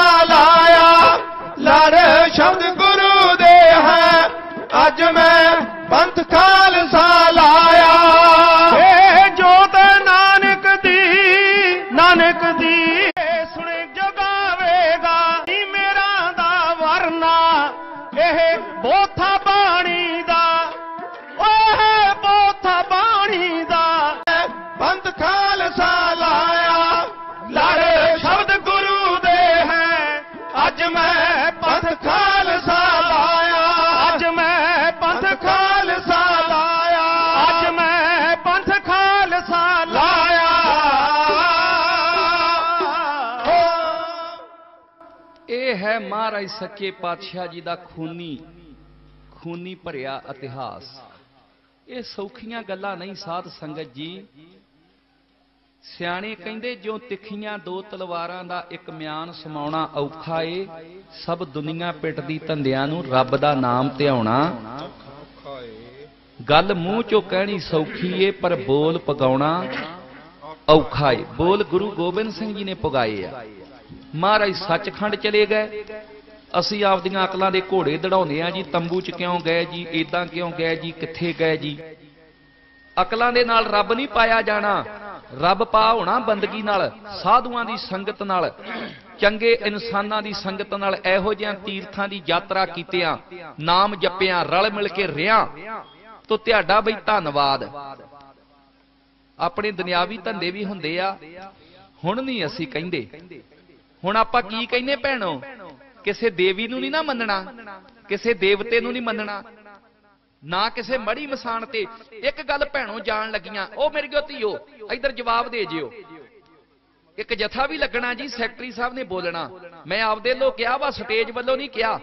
ਹਾਂ ਬਈ, ਮੜੀਆਂ ਨੂੰ ਮੱਥੇ ਤੇ ਨਹੀਂ ਟੇਕੋਗੇ? ਜਿਨ੍ਹਾਂ ਟੇਕਣੇ ਹੱਥ ਨਾ ਖੜਾ ਕਰਿਓ, ਦੂਜੇ ਕਰੋ। ਬੋਲੇ ਸੋ ਨਿਹਾਲ! ਹਾਂ, ਤੁਸੀਂ ਨਹੀਂ ਟੇਕੋਗੇ, ਹੈ? ਲਓ ਜੀ ਫੈਸਲਾ ਹੋ ਗਿਆ। ਮੱਥਾ ਇੱਥੇ ਟੇਕਣਾ ਜਿਹੜਾ ਕਲਗੀ ਵਾਲੇ ਨੇ ਖੰਜਰ ਖਾ ਖਾ ਕੇ ਲਹੂ ਡੋਲ ਕੇ ਸਾਨੂੰ ਇਹਦੇ ਲੜ ਲਾਇਆ। ਨਾਨਕ ਨਾਮ ਚੜ੍ਹਦੀ ਕਲਾ ਤੇਰੇ ਭਾਣੇ। ਟਾਈਮ ਦੀ ਕਦੇ ਅਵਗਿਆ ਨਹੀਂ ਕੀਤੀ। 2 ਘੰਟੇ ਤੋਂ ਇਹ ਸਮਾਂ ਲੱਗਾ। ਸਤਿਗੁਰੂ ਦੀ ਕਿਰਪਾ ਹੋਈ। ਬਹੁਤ ਆਨੰਦ ਆਇਆ। ਅਸੀਂ ਅਕਸਰ ਇਹਨਾਂ ਅਰਸੀਨ, ਰਾਏਕੋਟ, ਇਹਨਾਂ ਪਿੰਡਾਂ 'ਚ ਮੋਹਲੀ ਕਲਾਂ ਪਿੱਛੇ ਇੱਕ ਦਿਨ ਨਗਰ ਕੀਰਤਨ ਕਰਕੇ ਗਏ ਆ। ਹੋਰ ਪਿੰਡਾਂ ਦੇ ਵਿੱਚ ਬਹੁਤ ਆਉਨੇ ਆ ਜੀ। ਪਿੰਡਰ ਕਲਾਂ ਵਾਲੇ, ਲੰਡੇ ਕੇ, ਦੁੰਨੇ ਕੇ, ਢੁੱਡੀ ਕੇ, ਬਦਨੀ, ਬੁੱਟਰ, ਖੋਟੇ, ਤੁਸੀਂ ਕਹੋਗੇ ਮੇਜਰ ਸਿਆਂ ਬੱਸ ਲੈ ਲਈ। ਨਹੀਂ ਜੀ, ਇਹਨਾਂ 72 92 ਪਿੰਡਾਂ ਮਾਲਵੇ ਦੇ ਜਿਹੜੇ ਸਾਨੂੰ ਸੱਦਦੇ ਆ। ਤੇ ਅਸੀਂ ਕਦੇ ਸੌਦੇ ਬਾਜ਼ੀਆਂ 'ਚ ਨਹੀਂ ਪੈਂਦੇ, ਕਿਉਂਕਿ ਨਾ ਅਸੀਂ ਕਿਸੇ ਨੂੰ ਦਿੰਨੇ ਆ। ਜਿਹੜੇ ਸੌਦੇ ਕਰਦੇ ਨੇ ਜੀ 70000 ਲੈਂਦੇ ਜੀ, ਫਲਾਨੀ ਇੰਨਾ ਲੈਂਦੇ ਜੀ, ਉਹਨਾਂ ਦੇ ਉਹ ਟੈਲੀਵਿਜ਼ਨ ਵਾਲੇ ਲੈ ਜਾਂਦੇ, ਉਹ ਫਿਰ ਤੁਸੀਂ ਕਹਿੰਦੇ ਨਾ ਵੀ ਟੈਲੀਵਿਜ਼ਨ ਤੇ ਵਾਹ ਵਾਹ ਸੋਹਣੇ ਜਿਹੇ ਲੱਗਦੇ ਆ। ਸਟੇਜੀ ਢਾਡੀ ਹੋਣਾ ਹੋਰ ਗੱਲ ਆ ਤੇ ਟੈਲੀਵਿਜ਼ਨ ਤੇ ਹੋਣਾ ਹੋਰ ਗੱਲ ਆ। ਉਹ ਕਹਿਣ ਜੀ, ਆਵਾਜ਼ ਤੇਜ਼ ਕਰੋ, ਸਪੀਕਰ ਵਾਲਾ ਕਵੇ, ਪਹਿਲਾਂ ਮੇਜਰ ਸੌਂਵੀ ਤੇ ਬੋਲ ਕੇ ਗਿਆ ਨਾ। ਨਹੀਂ ਜੀ, ਸਾਨੂੰ ਤੇ ਇਹ ਮੈਂ ਕਿਹਾ, ਭਾਈ ਹੈਗੇ ਟੈਲੀਵਿਜ਼ਨ ਵਾਲੇ, ਕਮਰੇ ਵਾਲੇ। ਬਜ਼ੁਰਗ ਉੱਠ ਕੇ ਕਹਿੰਦਾ, ਇੱਥੇ ਗਾਉਣਾ ਇਹ ਇਹ ਸਟੇਜੀ ਢਾਡੀ ਹੋਰ। ਇਹ ਵਾਹਿਗੁਰੂ ਦੀ ਕਿਰਪਾ ਹੈ ਤੇ ਸੰਗਤਾਂ ਮਾਣ ਕਰਦੀਆਂ ਨੇ। ਸਾਰੇ ਮਾਲਵੇ ਵਿੱਚ ਆਉਨੇ ਆ, ਮਾਝੇ ਵਿੱਚ ਜਾਂਦੇ ਆ ਦਵਾਬੇ ਵਿੱਚ। 13 ਵਾਰ ਨਿਊਜ਼ੀਲੈਂਡ ਤੋਂ ਲੈ ਕੇ ਅਮਰੀਕਾ ਤੱਕ ਵਰਲਡ ਘੁੰਮਿਆ। ਸੰਗਤਾਂ ਦਾ ਬਈ ਬਹੁਤ ਬਹੁਤ ਬਾਪੂ ਜੀ 500 ਰੁਪਈਆ ਦੇ ਗਏ ਨੇ। ਸਤਕਾਰਯੋਗ ਸਾਡੇ ਡਾਕਟਰ ਸਾਹਿਬ ਜੀ ਬੇਅੰਤ ਸਿੰਘ ਜੀ 500 ਵਾਹਿਗੁਰੂ 100 ਰੁਪਈਆ ਪਿਆਰ ਆਇਆ। ਸੈਕਟਰੀ ਸਾਹਿਬ ਜੀ ਵੱਲੋਂ ਅਸੀਸ ਆਈ ਆ। ਸਾਰੇ ਵੀਰ ਜੀ, ਹੋਰ ਭਰਾ, ਭੈਣਾਂ ਵੱਲੋਂ। ਆ ਮਾਇਆ ਗੁਰੂ ਕੇ ਲੰਗਰਾਂ ਵਿੱਚ ਪਾ ਦਿਓ ਸਾਰੀ ਜੀ। ਇਹ ਪਰੰਪਰਾ ਆਪਾਂ ਖਤਮ ਨਹੀਂ ਕਰਨੀ। ਇਹ ਸਾਡੀ ਵੀ ਸੇਵਾ ਪੈ ਜਾਵੇ। ਮਾਇਆ, ਤੁਹਾਡੀ ਸੇਵਾ ਤੁਹਾਡੇ ਬੱਚੇ ਆ। ਆਪਾਂ ਸਾਰੇ ਸਤਿਗੁਰੂ ਦੇ ਆ। ਤੇ ਸਤਿਗੁਰੂ ਸਾਰਿਆਂ ਨੂੰ ਦੇਣ ਵਾਲਾ ਕਿਸੇ ਵੀ ਗੱਲ ਦੀ ਕੋਈ ਕਮੀ ਨਹੀਂ, ਆਓ ਸੈਕਟਰੀ ਸਾਹਿਬ ਜੀ ਨਾਲ ਆ ਜਾਓ, ਜਥੇ ਦੇ ਗੁਰਵਿੰਦਰ ਸਿੰਘ ਜੀ ਆ ਜਾਓ।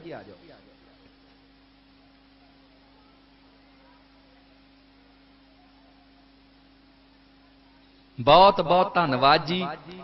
ਮੇਰਾ ਜੀ ਕਰਦਾ, ਮੈਂ ਗਾਈ ਜਾਵਾਂ। ਸੋਹਣਾ ਹੀ ਇੰਨਾ ਬਾਬਾ ਜੀ, ਇਹ ਵਾਹਿਗੁਰੂ ਦੀ ਕਿਰਪਾ ਹੀ ਇੰਨੀ ਆ। ਤੇ ਪਰ ਹੁਣ ਸੈਕਟਰੀ ਸਾਹਿਬ ਨੇ ਵੀ ਬੋਲਣਾ ਤੇ ਜਿਹੜਾ ਮਗਰ ਜਥਾ, ਬਈ ਸ਼ਾਬਾਸ਼ੇ, ਬਹੁਤ ਚੜ੍ਹਦੀ ਕਲਾ ਦਾ ਜਥਾ ਤੇ ਸੰਗਤ ਰੱਬ ਦਾ ਰੂਪ ਹੁੰਦੀ ਆ। ਮਹਾਰਾਜ ਕਹਿੰਦੇ ਵਿੱਚ ਸੰਗਤ ਹਰ ਪ੍ਰਭ ਵਸੈ ਜੀਓ। ਸਤਿਗੁਰੂ ਗ੍ਰੰਥ ਸਾਹਿਬ ਦੇ ਲੜ ਲੱਗੋ।